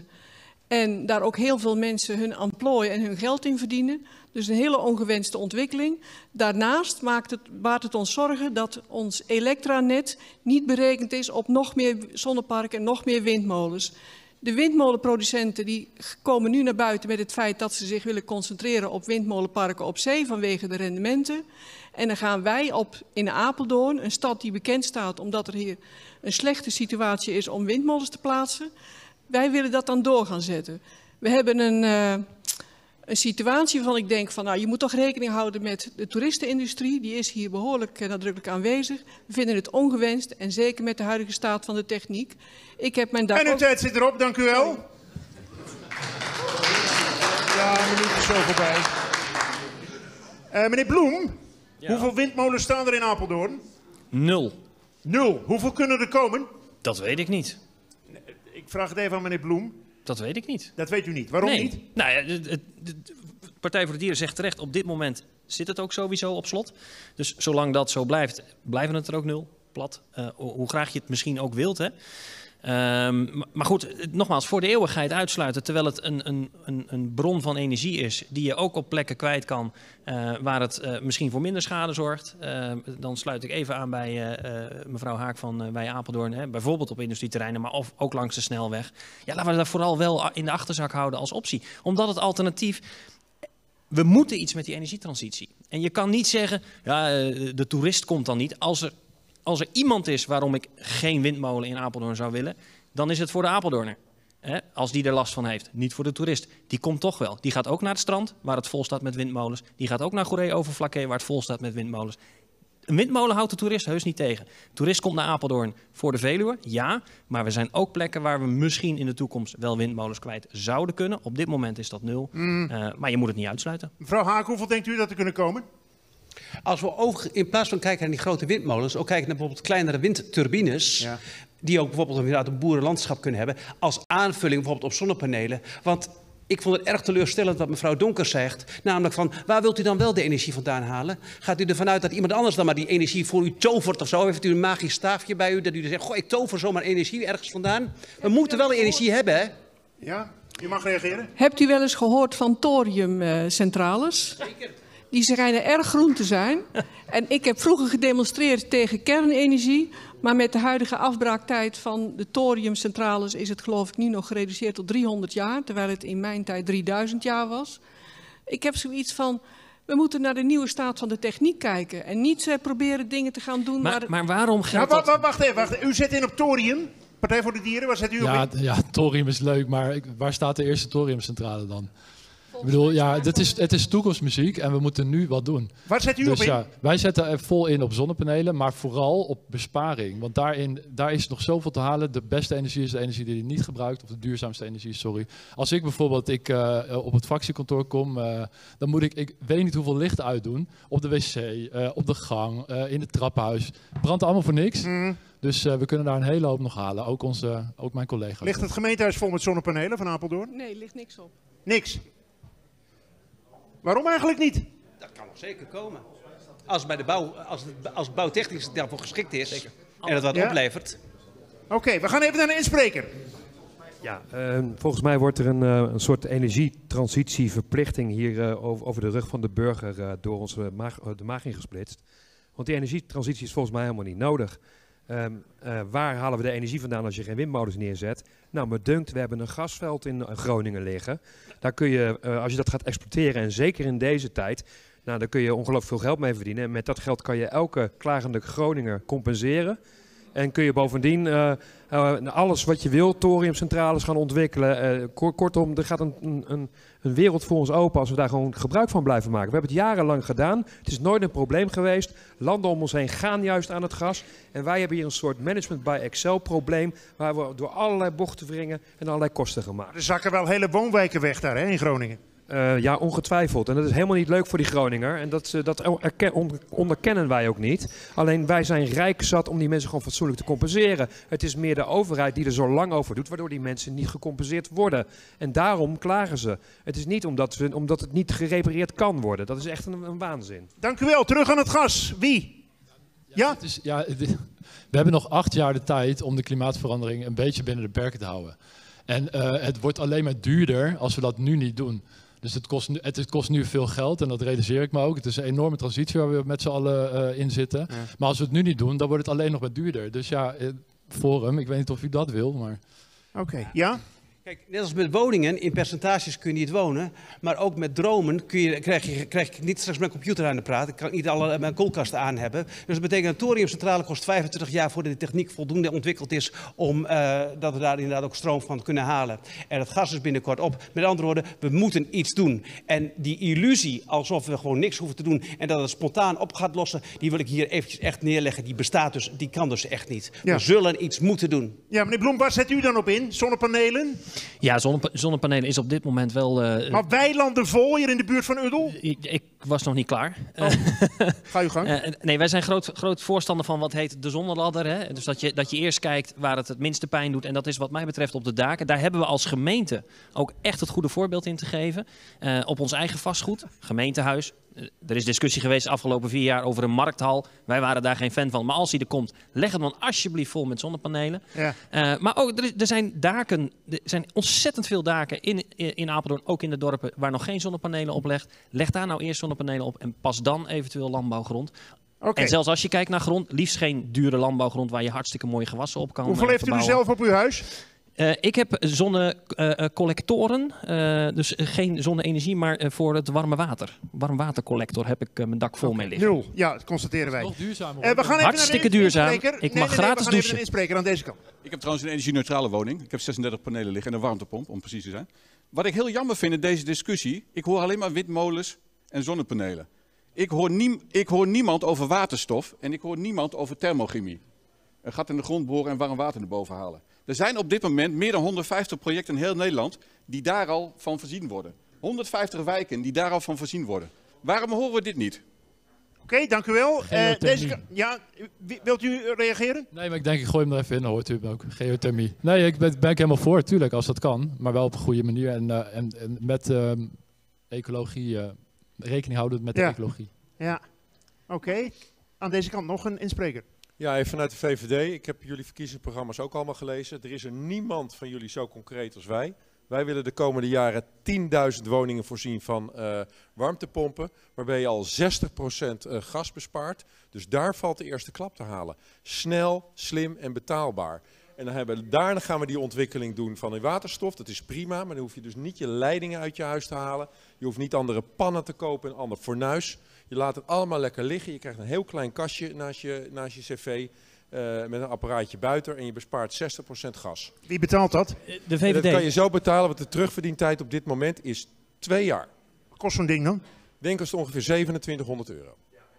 Oké, okay. nee, nee, nee, u mag niet. Dan moet u hier blijven staan. Ja?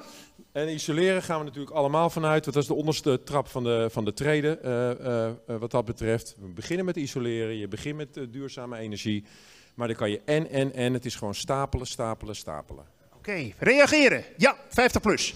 Ja, ik wil even reageren op mevrouw Haak. Die had het net over dat de thoriumcentrale in 25 jaar tijd nog ontwikkeling tegemoet moest zien.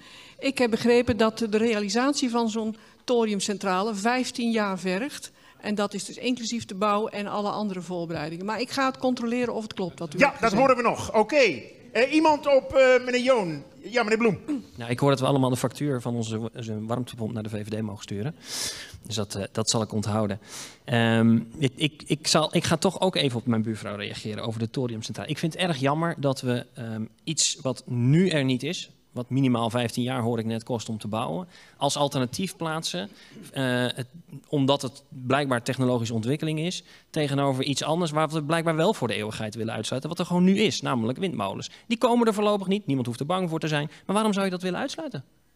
Waarom zou ik die, die horizonvervuiling willen toestaan? Ik kom uit een dorp en daar staan bij Deil staan er verschrikkelijk veel van die win- windmolens. Ik geloof 150 meter hoog. Prachtig. Als je bij ons op de dijk staat en je kijkt erheen, dan lijkt het alsof het in de achtertuin staat. Het is echt U verschrikkelijk. ziet het voor zich dat Apeldoorn volgeplant wordt met duizenden windmolens. Daar hebben we het niet over. We hebben het over meer dan nu. En dat is nul.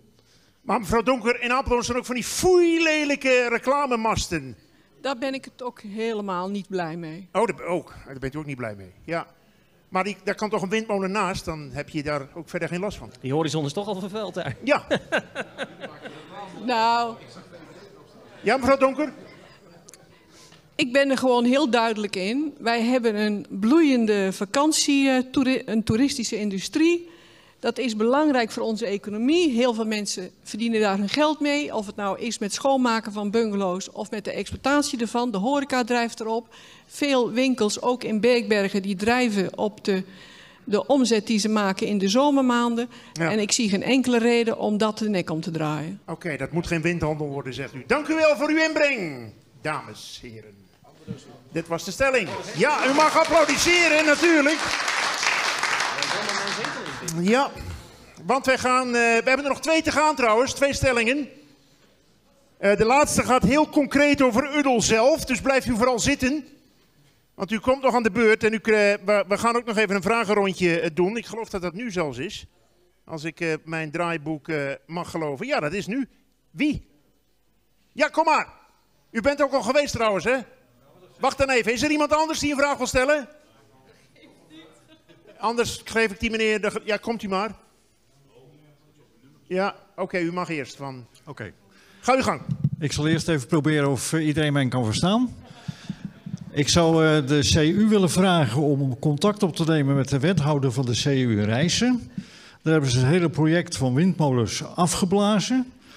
Omdat er op 2,5 kilometer een deel van de bevolking hersenletsel krijgt. Dat is gebaseerd op onderzoek. En het tweede is dat de bodemvegetatie rond windmolens verandert. En daarom ondersteun ik gewoon even bij het onderwerp blijvend om geen windmolens te bouwen. Nergens. Oké. En meneer Bloem mag reageren. Trouwens, een mooie beeldspraak, hè? Eh, de windmolen is afgeblazen. Ik hoorde het u zeggen, ja. Meneer Bloem, reageren? Ja, ga u gaan. Collega in Rijssen, ja, die, willen, die wil ze helemaal niet. Nee, en dat mag hè? Bedoel, Ja, dat is niet verboden. niet, ja. Het, eh, nou ja, het, weet je, het liefste had ik ook dat we het eh, niet nodig hadden. Dat- En, en ook zonneparken niet. Maar zolang het wel nodig is, vind ik dat je gewoon die verantwoordelijkheid ook moet nemen. En niets op voorhand moet uitsluiten. Stel voor, u komt in een, in een college. Ja. Zou zomaar kunnen. Geen idee. Geen... Ga ik niet Ja, over. nou, we gaan er even nee, vanuit. Ga ik niet over. Nee, maar gaat dat dan een punt worden? Waar die windmolens moeten komen en die zonneparken? En Nou die... ja, eh, eh, maar dan, maar dan val ik, voorlopig is het gewoon niet aan de orde. We hebben een wespendief. Punt. Ja. Soms is politiek zo makkelijk, hè? Ja, zoals, ja, Ja. u vraagt me naar mijn mening, maar eh, Ja, ja. zolang die wespendief hier rondvliegt, dus zolang u wilt, dan moet u allemaal die wespendief in leven houden en zo. Ja, hou de wespendief het, in is het leven. hier in Uddel in ieder geval in de buurt niet aan de orde. Daar we Duidelijk. veel te dicht op de Veluwe. Dank u wel. Ik zag daar nog een vinger. Ga uw gang, meneer. De wespendief, vergeet hem niet meer. Ja, ga uw gang. Ja, eh, aangaande de speelvoorzieningen voor onze kinderen. Ehm, hiernaast staat een voetbalkooi. Die hebben wij op heel geheel eigen initiatief eh, ge- gerealiseerd. Eh, ik denk twaalf jaar geleden. Voor een derde van het bedrag wat een kruifkoord kostte. Want Uddel kwam niet in, het, in, eh, in aanmerking voor een kruifkoord. Want onze jeugd was niet divers genoeg. We hadden niet genoeg probleemjongeren. Maar dat terzijde. Plan eh, Veluwe, eh, 56 nieuwe woningen, nul speelvoorzieningen. We hebben gebedeld bij bouwbedrijf Van Wijnen, 1500 euro. Ulders Belang, 1500 euro, vijf speelvoorzieningen. Plan Aardhuis, 120 nieuwe woningen. Dankzij Masja Palleviet, onze eh stadsarcheologe, omdat daar mooie dingen gevonden waren, hebben we er een prachtig speeltoestel gekregen. Maar we zijn iedere keer heel slecht bedeeld daarin. Ik heb vandaag, vanavond wat gehoord over woningbouw, toekomstige woningbouw. Kan, en dan ga ik even realistisch zijn, de twee grootste partijen waar ik een beetje van uitga, CDA, VVD, ons beloven dat bij een nieuwe grote woonwijk er goed gedacht wordt aan onze kinderen voor speelvoorzieningen. Oké, duidelijke vraag. Nieuwe woonwijk, speelvoorzieningen voor kinderen. VVD, CDA. VVD mag beginnen. Uh, beloven doe ik niks, uh, sowieso. Ik wil me er wel keihard voor maken. Uh, ik wist niet dat ze niet geplaatst waren daarvoor, want ik vind dat ze er gewoon bij horen. De openbare ruimte moet namelijk een openbare ruimte zijn voor iedereen om te bewegen en uitnodigend zijn. Namelijk om te gaan sporten en elkaar te ontmoeten. Dus ik wil me daar wel keihard voor maken, maar beloftes kennen we in de politiek. En we zijn niet alleen van de VVD afhankelijk. Dus uh, ik kan me er keihard voor maken. Ik heb ook ruimtelijke ordening sowieso in mijn portefeuille gehad. Als ik het had geweten, dan had ik het ter discussie gesteld. Maar ik zal het volgende termijn heel graag doen, want het hoort er gewoon bij. Tot drie keer toe een keiharde toezegging. Om keihard te maken. Ja. ja. CDA. Ja, dank. Nou, ik kan me er eigenlijk bij aansluiten. Ik ben laatst overigens met uw dorpsraadvoorzitter wezen kijken bij uh, de speelplaats hier aan de achterkant. En die plek verdient ook een upgrade. Uh, dus wat mij betreft gaan we daarmee aan de slag. Is geen belofte, ik ga me er hard voor maken. Ik gebruik precies dezelfde woorden. Um, ik heb gezien dat het belangrijk is. volgens mij is het belangrijk voor Uddel om die speelplaats mooier, beter te gaan maken. Dus wij hebben het gezien um, en we gaan er naar kijken. Nou, die heeft u in uw zak. VVD en CDA gaan zich er keihard voor maken. Ja, de een hard en de ander keihard. Dus we gaan zien waar dat uitkomt. Wij gaan naar stelling nummer 5. Ik nodig hier uit aan tafel CDA, Lokaal Apeldoorn, GroenLinks, de SP en Forum voor Democratie. Neem uw bordje mee, zet dat op tafel. Kies positie. En uh, de stelling is de volgende, en dan moet u denken aan uh, vertrouwen in de overheid en dienstverlening. De afstand tussen de stad en het dorp is veel te groot. De afstand tussen de stad en het dorp in Apeldoorn is veel te groot. CDA, één minuut, ga uw gang. Mag alweer beginnen. Um, nou, veel te groot uh, uh, zeker niet. Um, maar ik, ik, denk dat we eerlijk moeten zijn en wel moeten zeggen dat, de afstand wel, dat er wel een afstand is. Uh, en dat dat betekent dat we die de komende jaren ook kleiner moeten, moeten gaan maken. Um, Apeldoorn is een grote gemeente, groot grondgebied, heeft vele dorpen, vele prachtige dorpen. allemaal verschillend. Het is ook mooi om te zien als je op een dag de verschillende dorpen in Apeldoorn ook langs gaat. Om te kijken wat de cultuurverschillen daarin zijn. en die waarderen we ook allemaal. Um, ik denk dat het goed is dat we met elkaar die aandacht van die dorpen ook blijven houden. Nou, de afgelopen jaren heeft het CDA eh, de dorpenwethouder gehad. En ik weet dat hij uh, zich keihard heeft ingezet om de dorpen ook mooier en beter te maken. maar in de algemene beleving denk ik dat het goed is om de dorpen steviger neer te gaan zetten. Ook binnen het stadhuis. Dank u wel, meneer Van den Borg. Wij gaan naar lokaal Apeldoorn. Ja, dank u wel. Nou, laat duidelijk zijn, fysiek gaan we natuurlijk die afstand niet vergroten of verkleinen. Een, een dorp zoals Uddel heeft zijn eigen identiteit en dat moeten we vooral zo laten. Een stad zoals Apeldoorn heeft zijn eigen identiteit en dat is prima zo. Wat we wel tegenkomen is dat, en dan kijk ik even naar onze hulpdiensten bijvoorbeeld, de afstand tussen Apeldoorn en onze dorpen daaromheen, dat wordt wel kritisch. Wij komen daar langzaam maar zeker aan onze maximum wat landelijk is toegestaan. Dus in het kader van veiligheid, toegankelijkheid van wegen, toegankelijkheden naar onze dorpen. Daar willen wij ons de komende jaren voor hard maken. Dank u wel. Ja, keurig. Allemaal keurig binnen de tijd. Dat is uh, heel mooi. GroenLinks. Ja, wat vind ik van die stelling? Uh, de afstand uh, van de stad naar het dorp is te groot. Ik ga, eerst, ik ga eerst wat vertellen en dan kom ik daarna wel wat ik ervan vind. We waren vanmiddag bij een aantal van hier ook bij Don Bosco in de wijk Zevenhuizen.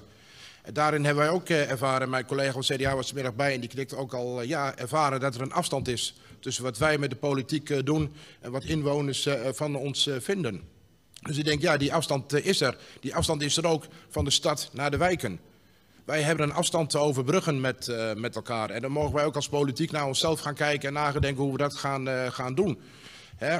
Te vaak hoor je, ja, we hebben corona gehad en daarom uh, hebben we elkaar minder kunnen zien en, en dergelijke Ehm, we hebben ook in die tijd geleerd dat we elkaar ook gemist eh, hebben. Dus laten we ook met elkaar gaan kijken hoe we elkaar wel kunnen gaan, eh, gaan vinden. Dus die afstand die is er, ja. Maar daar zijn jullie als dorp en dorpen niet exclusief in. Dat geldt ook voor, eh, voor de wijken.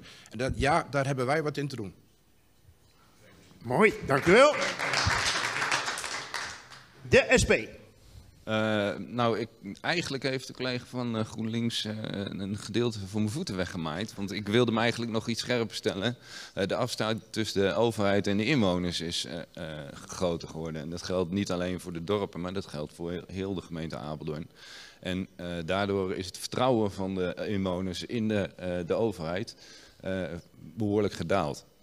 Eh, wij zouden dat het liefst eh, natuurlijk anders zien. Wij willen er alles aan doen om het vertrouwen van de inwoners eh, terug te winnen. En wij willen de inwoners ook meer betrekken. Wij roepen bij ongeveer ieder onderwerp participatie is een belangrijk onderdeel. En dat willen wij in ieder geval de komende jaren ook zo blijven houden. En dat geldt dus niet alleen voor Apeldoorn, maar dat geldt zeker ook voor de dorpen. Mooi, dank u wel. En de laatste, Forum voor Democratie. Ja, de afstand van de dorpen naar de gemeente Apeldoorn. Ik denk dat voor sommige dorpen de afstand niet groot genoeg kan zijn op sommige vlakken. Want bemoeienis is niet altijd even leuk en misschien ook helemaal niet gewenst. En daarentegen willen ze misschien ook wel veel meer gehoord worden en willen we dat ze veel meer voor ze doen. Dus het is een beetje een, een, een, een, van tweeënlei één eigenlijk. Ehm, wat je wel in het algemeen ziet, is dat de overheid eh, continu maar schaal vergroot. En continu elke keer maar weer eh, deelgemeentes opslokt en groter worden en groter worden. En dat, dat eh, creëert sowieso de afstand, of maakt de afstand steeds groter naar de burger. Dus daarom is Vorm van Democratie ook eigenlijk voor eh, schaalverkleining in plaats van schaalvergroting. En wat mij betreft wordt ook de dorpsraad gewoon weer veel belangrijker in het nemen van beslissingen. En als een dorp zelfs wil afsplitsen van Apeldoorn, zouden wij daar niet op tegenstemmen. Want een dorpskern kan uiteindelijk zelf bepalen wat hij dan doet en is niet meer afhankelijk van een grote stad die eigenlijk totaal niet weet wat er speelt in een dorp als bijvoorbeeld Udden. Dank u wel. Ja, ik zou bijna zeggen, het, het venijn zat in de staart. Afsplitsen, zei u, hè? Ja, nou Waar ja. zou Uddel naartoe moeten dan? Nou, ik denk dat Uddel heel goed in staat is om een hoop dingen zelf te, te fixen en te regelen. Hebben ze Apeldoorn helemaal niet voor nodig. Aan de andere kant, het is een kleine gemeenschap. Dat betekent dat je relatief weinig geld met elkaar te verbrokkelen hebt. En dat je misschien best wel wil leunen op voorzieningen. Dus ik snap, de, ik snap de tweestrijd daarin wel. Maar laten we wel wezen, het zijn gewoon volwassen burgers. Het zijn gewoon volwassen mensen. En ze hebben hier al jaren een nederzetting. Volgens mij sinds 7084 of 784 geloof ik. Hebben het hier altijd al gerooid. Nou, dat, ik bedoel, het was ergens in 700. Maar jullie hebben het heel lang heel gewoon zelf gerooid. Mm. En ook zonder de bemoeienis van Apeldoorn. Dus het is niet per definitie zo dat je het niet redt als stad of als dorp. Maar ik, het is niet dat ik ervoor pleit. Ik zeg niet van, nou, jullie Ja. moeten afsplitsen. Maar als ze het zouden willen, ik zou niet tegenstemmen. Meneer Van den Borg, u erkende dat, dat die afstand er is tussen de grote stad Apeldoorn en het kleine dorp Uddel, zal ik maar zeggen. Wat gaat u daar de komende vier jaar aan doen om die afstand te verkleinen? Concreet? Ja, kijk, als ehm, eh, meneer Hendrik zei, zei het ook, hè, de afstand van, eh, eh, van de inwoners tot de politiek is de afgelopen jaren groter geworden. En dat geldt ook voor de inwoners in Uddel, in de dorp. Eh, en ik denk dat we er alles aan moeten doen om ervoor te zorgen dat die afstand kleiner wordt. En hoe doe je dat? Ja, kijk, de afgelopen jaren hebben we best wel ingezet op allerlei burgerparticipatieprogramma's. Mhm.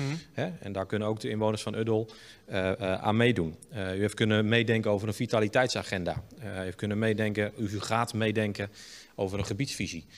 ehm, eh, voor, eh, voor Uddel. Dat zijn allerlei programma's waarin, je, waarin we samen met onze inwoners gaan nadenken over hoe ziet Uddel er over 10, 20, 30, 40 en verder in de toekomst uit. Dat is belangrijk. Maar het allerbelangrijkste is denk ik dat wij als politicus, eh, als volksvertegenwoordigers, onze taak serieus nemen. En niet allerlei beloftes doen, eh, of allerlei dingen schreeuwen, of de democratie ondermijnen, zoals af en toe in Den Haag gebeurt. Wij moeten onze taak serieus nemen, luisteren naar onze inwoners en op basis van het algemene belang het, het eh, eh, besluiten nemen. Ik denk als we dat doen, kunnen doen met elkaar en niet te veel met elkaar kwebbelen in de gemeenteraad, Ja. want dat gebeurt af en toe nog wel eens, Kwebbelen. dan, ja, mooi woord hè? Ja, zeker. zeker. Als we dat niet al te vaak doen Prachtig en onze Nederlands taak woord. serieus nemen, volksvertegenwoordiger zijn, dan komen we wel een stapje verder. Ja, ik wil even naar lokaal Apeldoorn. In uw naam zit lokaal. Dat geeft dus aan dat u... Niet in Den Haag zitten. Sorry? Dat wij niet in Den Haag zitten. Oh, ja. Waarom niet eigenlijk? Eh, nou, omdat wij juist lokaal zijn. Ja, maar wat is het voordeel daarvan? Dat zou hij niet, hè? Nee, jullie zijn wel lokaal. Nee, ja, CDA nee, ga- natuurlijk. gaat, u- gaat u even... Kijk, wat, wat wij zien in eh, de politiek, want dat is het onderwerp op dit moment, wat we zien in de politiek richting onze inwoners breed, Ja. dus niet alleen richting dit dorp, maar richting alle dorpen en, en ook de, het centrum van ons, is dat die afstand groter wordt. Ehm, door een aantal redenen. Een van de redenen is natuurlijk dat het gedoe in Den Haag de afgelopen jaren niet aan, daaraan bijgedragen heeft om die afstand te verkleinen. Mhm. En ik, maar ik vind ook, en ik wil ook graag naar onze eigen eh, stad kijken, dat wij hier als gemeenteraad daar ook een rol in hebben om die afstand te verkleinen. Aanwezig zijn op het moment dat onze inwoners ons nodig hebben en ook de afstand behouden op het moment dat zij zich uitstekend zelf kunnen bedruipen. Volgens mij is dat de juiste combinatie. Ja, noemt u eens een voorbeeld van het laatste, hè, waarin ze zichzelf kunnen bedruipen? Nou ja, juist wat heer Van den Borg zojuist zei. ehm Uddel is absoluut wel een, eh, een dorp wat zich uitstekend de burgerparticipatie heeft toegeëigend. En op het moment dat zij ehm, het grote Apeldoorn niet nodig hebben, Ja. dan is het toch uitstekend. Dat is toch gaaf dat men zichzelf op deze manier kan onderhouden. En zelf de plannen kan maken voor de toekomst. Daar zijn we trots op. Iemand reageren aan deze kant? Nee, Eh. anders ga ik naar de inspreker. Ja, ga uw gang. Ja, ik wil even, even reageren op eh, afstand tot de dorpen. Ik denk dat een groot probleem in de politiek geworden is het vertrouwen. Het vertrouwen in de landelijke overheid is schrikbarend geda- gedaald de afgelopen jaren. Ook in de provinciale overheid. En de gemeentes, die worden nog het meest getrouwd. Maar ook daar daalt het vertrouwen. Dus ik zou zeggen, probeer eens iets anders. Probeer duidelijke taal, klare taal, geen mistige beloftes. Ik meen dat er een groot schisma is ontstaan in Apeldoorn met betrekking tot de velden van AGOVV. En daar werden wij zelfs op de verkiezingsmarkt op aangesproken wat wij daarvan dachten. Ik vind het kan niet zo zijn dat er een besluit wordt genomen wat door de betrokken partijen tegenovergesteld wordt geïnterpreteerd. Ze staan diametraal tegen elkaar. Dat denk ik van, dat is dus echt heel slecht. Duidelijke taal, ook in de communicatie die de gemeente uitoefent. Ik werk al eh, zes jaar mee aan de sociaal-juridisch spreekuur voor mensen met een beperking. En ik zie die brieven, ze zijn te lang voor een hele simpele mededeling waar je in één alinea klaar mee moet zijn. Is het één en een kwart pagina. Mensen haken af en dan vraag ik van, goh, hebt u daar gebruik van gemaakt? Ja, nee, daar heb ik niks van gehoord. Dan komen ze met een stapel brieven. Ja, even, die, die communicatie wil ik even eh, u over horen. Wie, wie zegt daar iets over? Communicatie vanuit de gemeente, mevrouw zegt die is te lang en te veel en te ingewikkeld. Ja, is- ik Ja? ben het daar volledig mee eens. Ehm, onze wethouder heeft daar een, pakweg een half jaar geleden ook een campagne voor gelanceerd. Dat alle post wat het gemeentehuis verlaat, klip en klaar Nederlands moet kennen. En zonder al te veel moeilijke woorden en zinsneden erin. Ehm, en die campagne heeft volgens mij laten zien dat die aandacht absoluut op het gemeentehuis aanwezig is om dat de komende tijd te gaan veranderen. Mogen ze de brieven bij u terugbrengen die ze niet snappen? Graag. Oké, uitgenodigd. Nee, u mag niet reageren, u mag alleen maar inspreken. Dus u mag gaan zitten en dan ga ik naar de volgende. Dat was hem weer. Ja, ik, ik denk dat de mentale afstand tussen de dorpen en de stad kleiner is dan tussen de stad en de, en de dorpen. En dus vanuit de stad moeten we daar wat aan doen. Ik hoor een aantal su- suggesties. Het zou bijvoorbeeld kunnen door af en toe een politieke markt in een locatie als deze te houden. Eh, in ons programma hebben we ook opgenomen dat in ieder geval goede fietsvoorzieningen tussen alle dorpen en de stad moeten zijn. En bijvoorbeeld in de stad hebben we, werken we aan samen 055 lo- locaties.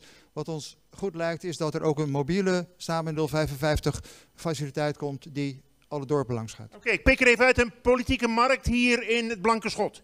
Eens? Iedereen? Ja, goed idee. Ook achter de... Op de ja, nou, dat is geregeld. Ja, U krijgt een politieke markt en u zorgt dat heel Uddel, dus iets meer dan vanavond, hier gaat zitten. Hou ik mijn muntjes nog even Ja, vast. en de, de, de gemeente deelt muntjes uit. Oh, daar gaan we dat weer. Ja? Hebben we nou wat gezegd? Oké, die noteren we ook. Eh, van den Berg. Ja, even, ehm, eerst even vooraf. Ik, de suggestie van eh, Forum voor Democratie, dat Euro mag verzelfstandigen, dat bracht mij op het idee dat de SGP dat misschien wel interessant vindt. In dat geval zijn, in, in dat geval zijn we ook voor een gekozen burgemeester. Dus dan, Dankjewel. maar goed, dat even, voor, dat even vooraf. Dat even, nee.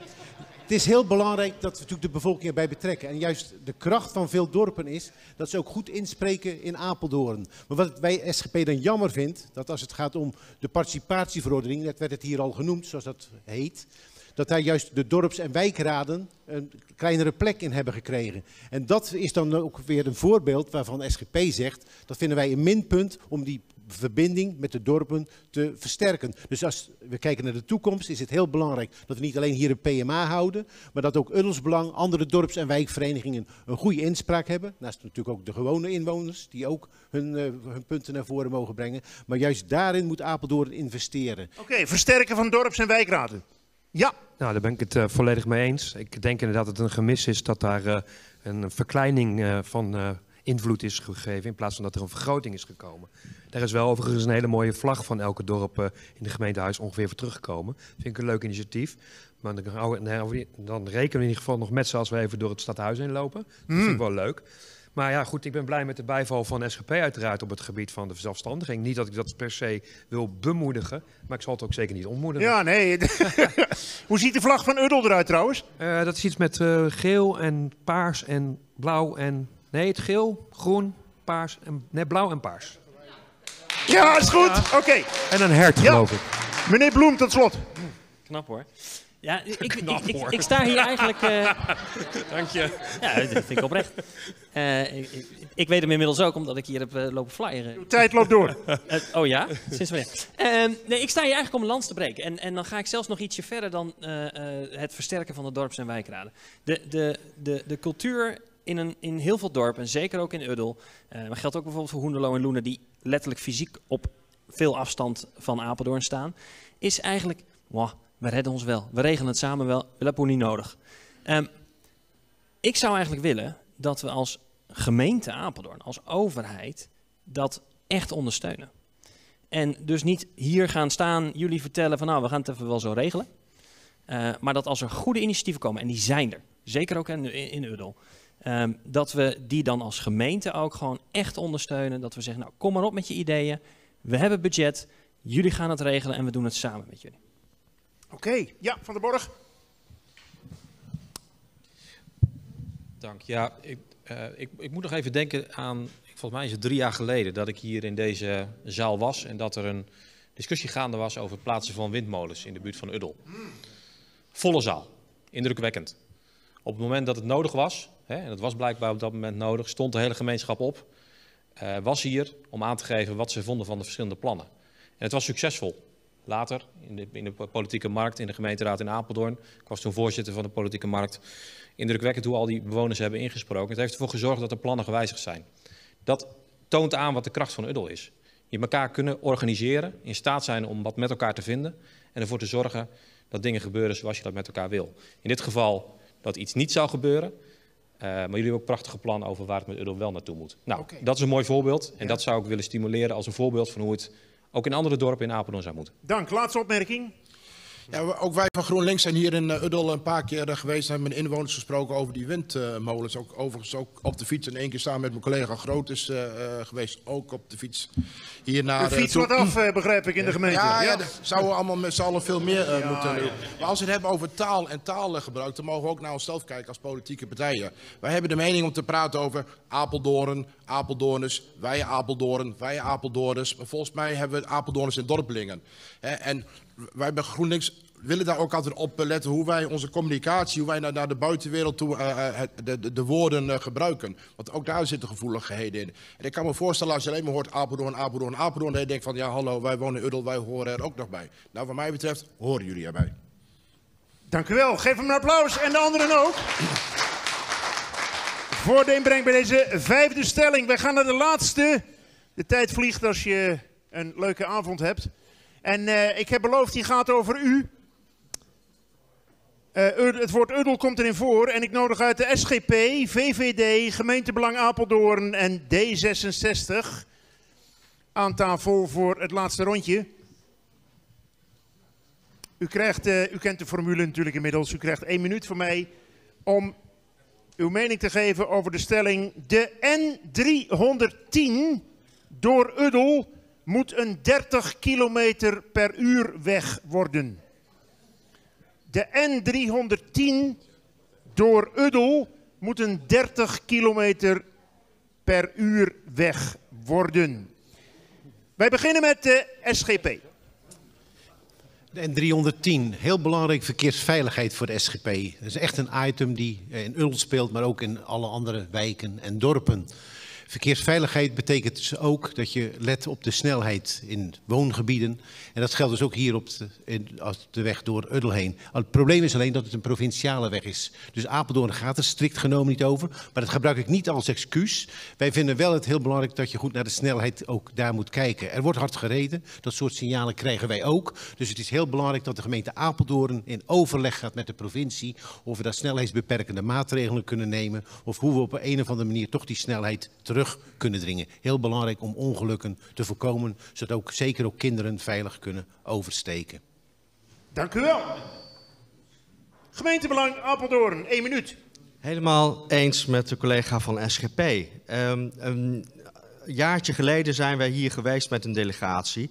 Uh, en hebben dus ook met de politie gesproken van hoe kan het nou dat dat niet gehandhaafd wordt. En dan krijg je als antwoord, die weg leent zich daar niet voor. Je moet de weg zo inrichten dat hij niet uitnodigt om dat soort snelheden te, te bereiken. Met andere woorden, je kunt een 30 kilometer grens eh, opleggen en dat gaan handhaven. Maar op het moment dat eh, de politiediensten niet meewerken, omdat die weg zich daar helemaal niet voor leent, dan, dan, dan gebeurt die handhaving gewoon niet. Dus met andere woorden, helemaal eens, we moeten in overleg met de provincie. We zien als gemeentebelangen overigens dat Apeldoorn een heel groot probleem heeft met die provincie. Dus dat is ook een heel belangrijk aandachtspunt om de verkeersveiligheid uh, voor onze kinderen en inwoners te waarborgen.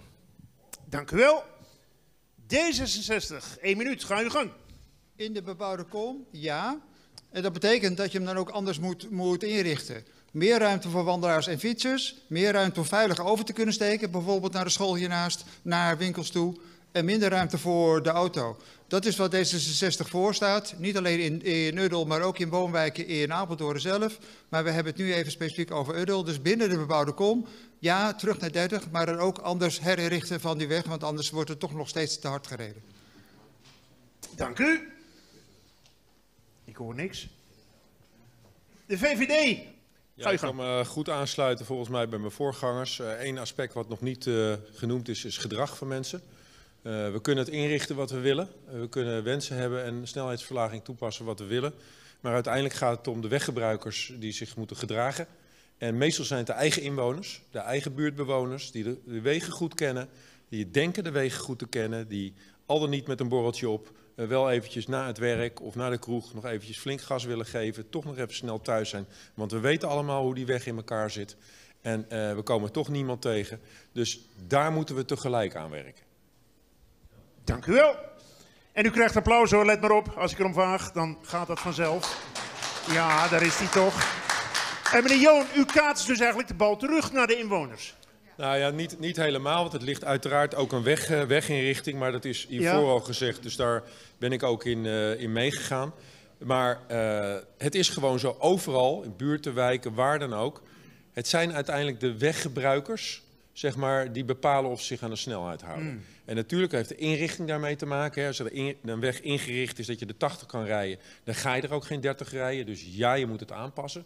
Maar uiteindelijk is het altijd degene die met zijn voet op dat gaspedaal zit, die bepaalt of hij zich aan de snelheid houdt. En dan kunnen we tegen handhaven wat we willen, maar dat is niet te doen. Dus het is gedrag van mensen. Van den Bergen, gedrag van mensen aanpakken. Ja is inderdaad ook een heel belangrijke component hierbij. Wat we ook vaak zien, dat is dat we bijvoorbeeld klachten krijgen over verkeersveiligheid rond scholen.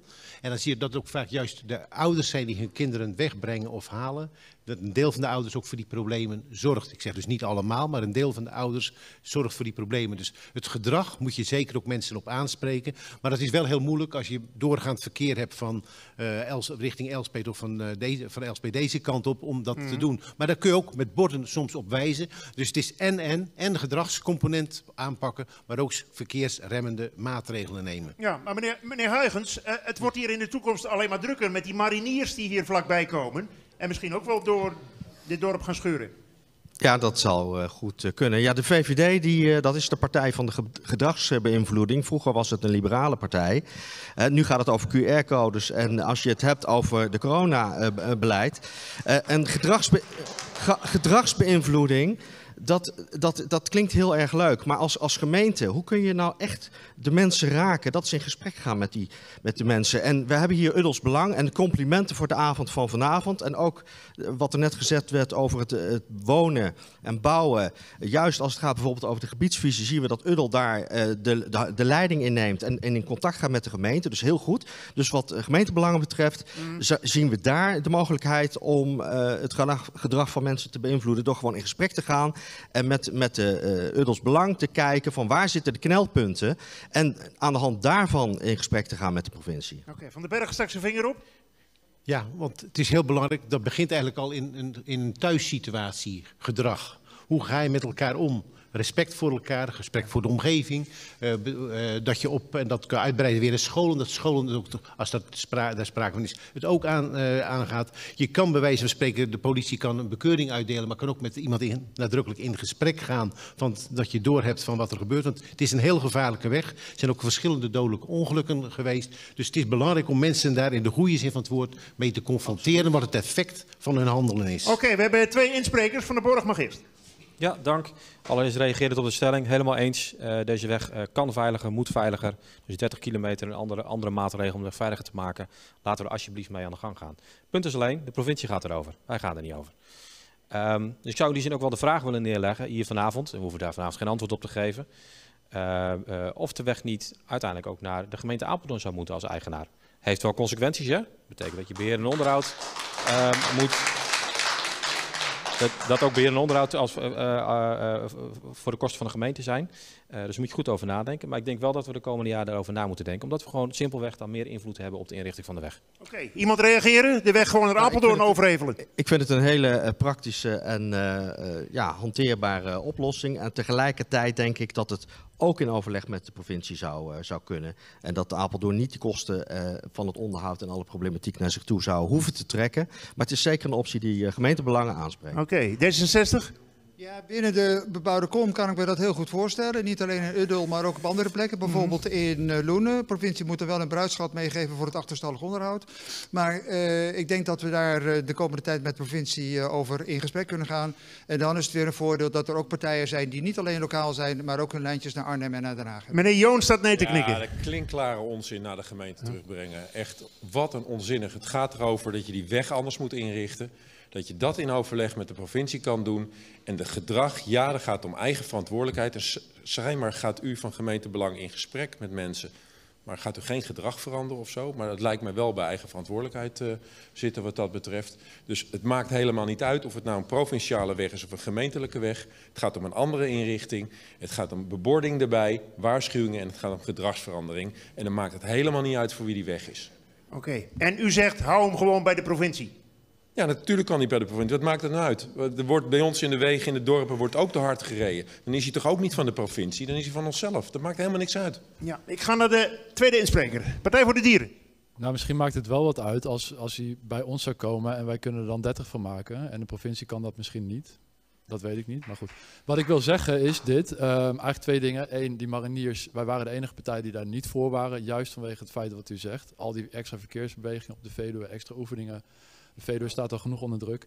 En het tweede, het is eigenlijk echt bezopen, als je er goed bij nadenkt, ik hoop dat u dat doet vanavond, dat we in, in, in Nederland 500, 600 dodelijke slachtoffers per jaar in het verkeer accepteren. Alleen maar omdat we door willen rijden, omdat we van A naar B willen komen. Als Partij voor de Dieren zeggen we, binnen de bebouwde kom 30 km per uur. Eh, dus dat geldt inderdaad ook voor, eh voor Uddel. Oké, dank u wel. Wie wil er reageren? Van de Bergen? Ik, ik vind de opmerking dat het, als het bij de gemeente komt dat het allemaal goed gaat, vind ik eigenlijk iets te eenvoudig. SGP heeft ook vragen gesteld over bijvoorbeeld het buitengebied. Daar wordt ook te hard gereden. En ook daar, en die, dat zijn de wegen van de gemeente overigens. En ook daar is het heel moeilijk om in te grijpen. En ook daar moet je maatregelen voor nemen. Dus de suggestie van, als wij doen, gaan we het beter doen ten opzichte van de provincie, vind ik te eenvoudig. Wij over na moeten denken van, hoe gaan we dat in zijn totaliteit nu aanpakken? Wat voor maatregelen kun je doen? En als gemeente kun je echt invloed uitoefenen op de provincie. Dat zien we ook in andere delen van Apeldoorn concreet het kanaal waar dat speelt. Ook daar moet je in overleg met de provincie of je zaken kunt oppakken om echt die verkeersveiligheid aan te pakken. Mm. En dat moeten we dus ook hier, niet alleen voor wat betreft de weg door Apeldoorn of eh, door Uddel richting Ja. Elspet, maar ook in het buitengebied moeten we dat nodig gaan doen. Uw buurman? Ik, uh, de opmerking van uh, de collega van de SGP die spreekt mij aan als het gaat over respect en hoe uh, voeden we onze kinderen op met, met datzelfde beeld. En dat geldt dus ook voor het verkeer. Meneer Van den Bergen noemde ook nog even Elspet. Als ik hier in uh, Uddel ben en ik rij naar Elspet, dan valt mij op dat in Elspet de beleiding van de weg heel kraakhelder is. En zodra je op Uddels gebied uh, komt, zie, zie, je die beleiding niet meer. Oh. Dus uh, dat lijkt me ook een hele praktische manier om daar nog eens even goed naar te kijken. Om, om voor die weggebruiker ook veel duidelijker te maken hoe die zijn snelheid zou moeten aanpassen. Ja, maar is dat de provincie of de gemeente die dat doet? De gemeente Nunspeet? Dat is de gemeente Nunspeet die ja. dat doet. Ja, en die heeft zoals... betere verf, begrijp ik, dan de gemeente Apeldoorn. Wellicht, dat zijn keuzes van hoe gaan wij om met het beheer van ons wegennet en verlichting bijvoorbeeld voor gemeentebelangen. Spreekt er ook een hele, speelt er ook een belangrijke ja. rol. Meneer Joon? Nee, ik had over rolkleuren. Oh, ja, D66. Nee, nog even richting mijn buurman. Het maakt natuurlijk uiteindelijk niet uit, dat is een structuurdiscussie of het provincie of gemeente hmm. is. Uh, maar Mocht het makkelijker zijn om die 30 kilometer en die herrichting te regelen in combinatie met het overdragen van die weg, dan moeten we daar niet bij voorbaat tegen zijn. Ja. Meneer Joon, nog even over die mariniers. Wanneer komen die eigenlijk? Nou, precies. Daar wou ik nog net ook over, oh. want ik heb me daar zelf keihard voor gemaakt met de staatssecretaris toen wij uh, nog in het geheim in gesprek waren met elkaar. Uh, dus in 2028 komen die. Dan hebben we de, de duurzaamste uh, kazerne ter wereld wordt er hier gebouwd. De Special Forces komen ook. Dit betekent dat langzaam die mensen ook gaan verhuizen van waar ze nu wonen met hun gezinnen. Dat gaat allemaal niet in één keer hier naartoe. Dat betekent ook dat ze hier inkopen gaan doen, dat ze hier gaan eten, dat ze hier gebruik gaan maken van de bedrijven. Nou, als er één stap hier gezet is de afgelopen jaren, die het toekomstperspectief volgens mij van Uddel weer goed licht inbrengt, dan is het wel die mariniers die gaan komen met hun gezinnen en hier over de jaren heen zich zullen vestigen. Want hoeveel komen er? Er komen er uh, 2300 in totaal, plus of min. Dat zijn 2100 mariniers en er komen zo'n 200, 250 uh, special forces. Uh, afgerond, ik weet het niet helemaal precies. Ja. Maar daar moet je ongeveer aan denken. Dat is een hoop mensen. Het is een hele hoop mensen. En er staat een kazerne, die is ooit gebruikt geweest. Prachtige kazerne. En we krijgen hier nog een helemaal een topkazerne. En dit zal een enorme impuls geven hier aan de regio. Oké. Okay. Ze zouden naar Vlissingen eigenlijk, daar is ook water. Waar gaan ze hier in het water eigenlijk? Weet u dat? Nee, ze hoeven... Maar, ja, ja, ja, ja, ja. Nee, meneer Jong? Dat kan, dat kan in Ullemeer, maar... Uh, ja? Nee, mariniers hoeven uh, niet per se in het water, wel oh. een deel, maar ze zitten ook in Rotterdam al. Dus, uh, en in principe kunnen ze natuurlijk zo naar... de Zuiderzee van vroeger, zou ik maar even zeggen. De Zuiderzee, ja. daar is ook water. Uh, ja, IJsselmeer, ik maak okay. een grapje. Uh, maar ja? ze hebben niet per se hier water nodig, maar ze hebben alle ruimte. Van den Bergen. SGP was er ook duidelijk voorstander van dat de mariniers hier naartoe komen. Nou, als we dan de huidige situatie zien, is het heel belangrijk dat we ook investeren in defensie, maar dat even terzijde. Maar dit betekent ook wel, als het gaat om woningbouw in Uddel, dat dan ook de gemeente snel maatregelen moet nemen. Al die mariniers gaan zeker niet alleen in Uddel wonen, die zullen ook in omliggende gemeenten, maar een deel daarvan zal best hier komen. Als wij daar niet tijdig op inspelen, dan heb je naast de Uddelse bevolking, de jongeren, komt er nog een keer mariniers bij. Als je dan niet tijdig genoeg woningen aanbiedt, dan weet je nu al dat er een probleem gaat ontstaan. Dus dit weet Apeldoorn nu al. Dat betekent dat er ook vrij snel in Apeldoorn goede woonvoorzieningen moeten komen. Voor onder andere mariniers, maar ook zeker voor de eigen Uddelse bevolking. Eens, nou ja, daarvoor zijn wij ook uh, hier begonnen van onderaf met de, de integrale gebiedsvisie die we hebben. Om juist te kijken, dat grote schaakspel wat ik in het begin al noemde, wat die moet plaatsvinden op Uddels gebied. Uh, dat is daar één onderdeel van, maar niet alleen daar. Daarvan heb ik ook maar keihard gemaakt om de bedrijven niet uit Uddel naar Apeldoorn te halen, maar hier te laten. Juist voor die vitaliteit van het dorp.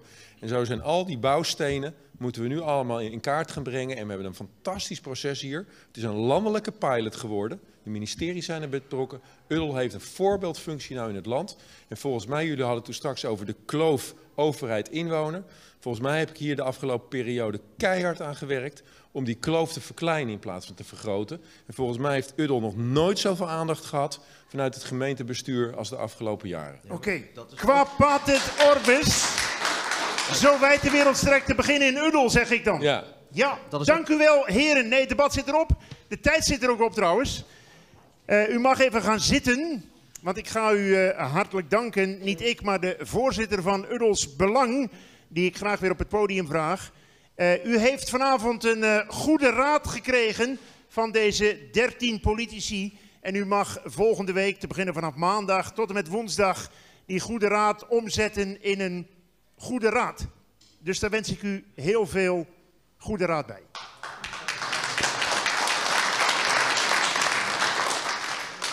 Goede raad is duur. We hebben veel gehoord vanavond. Beloftes zijn ze gedaan. Wat hebben jullie gehoord in de zaal? Er zijn in ieder geval uitspraken gedaan waar we op terug gaan komen. Er zijn uitspraken gedaan over verzelfstandiging. Dingen meer zelf gaan doen. Dat zijn zaken die ons als ondernemend dorp aanspreken. In een stukje verzelfstandiging, Korps Mariniers krijgt misschien nog wel een eigen leger hier. Nee, nu ga ik te ver. Dat moeten we niet gaan doen. Dat wordt gek. Nee. We hebben onze eigen appgroep al. Nee, alle gekheid op een stokje. Ik vond het een geweldige avond. Ik dank jullie allemaal, in ieder geval het publiek voor de komst, de kijkers thuis voor het kijken.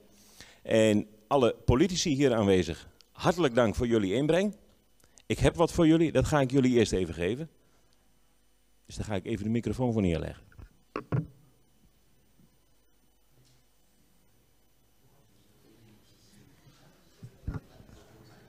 We hebben hier in Uddel ooit een boek geschreven die de geschiedenis van ons dorp beschrijft. En er werd al een keer gezegd, Uddel bestaat al heel lang. Ja, dat klopt. Sinds 792 wordt er melding gemaakt van Uttelt. Daarna werd het Uttilog en toen Uddel, geloof ik. Of was het precies andersom? Uttilog, Uttelt, Uddel.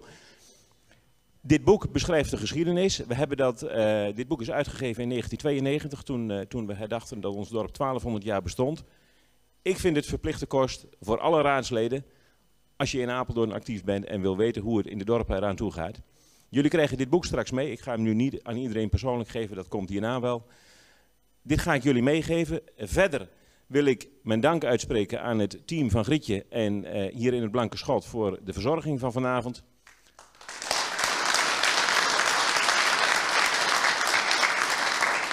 Dat betekent ook dat jullie zometeen niet direct naar huis moeten gaan, maar nog vooral even de kans moeten waarnemen om een drankje te gebruiken, om gezellig na te praten. Het is ook het moment om nog even met de aanwezige raadsleden van gedachten te wisselen. Ik wil Riekelt ook heel hartelijk bedanken voor uh, de leiding van deze avond. Hartstikke goed gedaan. En last but not least wil ik ook uh, mijn eigen bestuur van Urls Belang bedanken voor het helpen met het organiseren van deze avond. Dit smaakt naar meer. Dank u wel.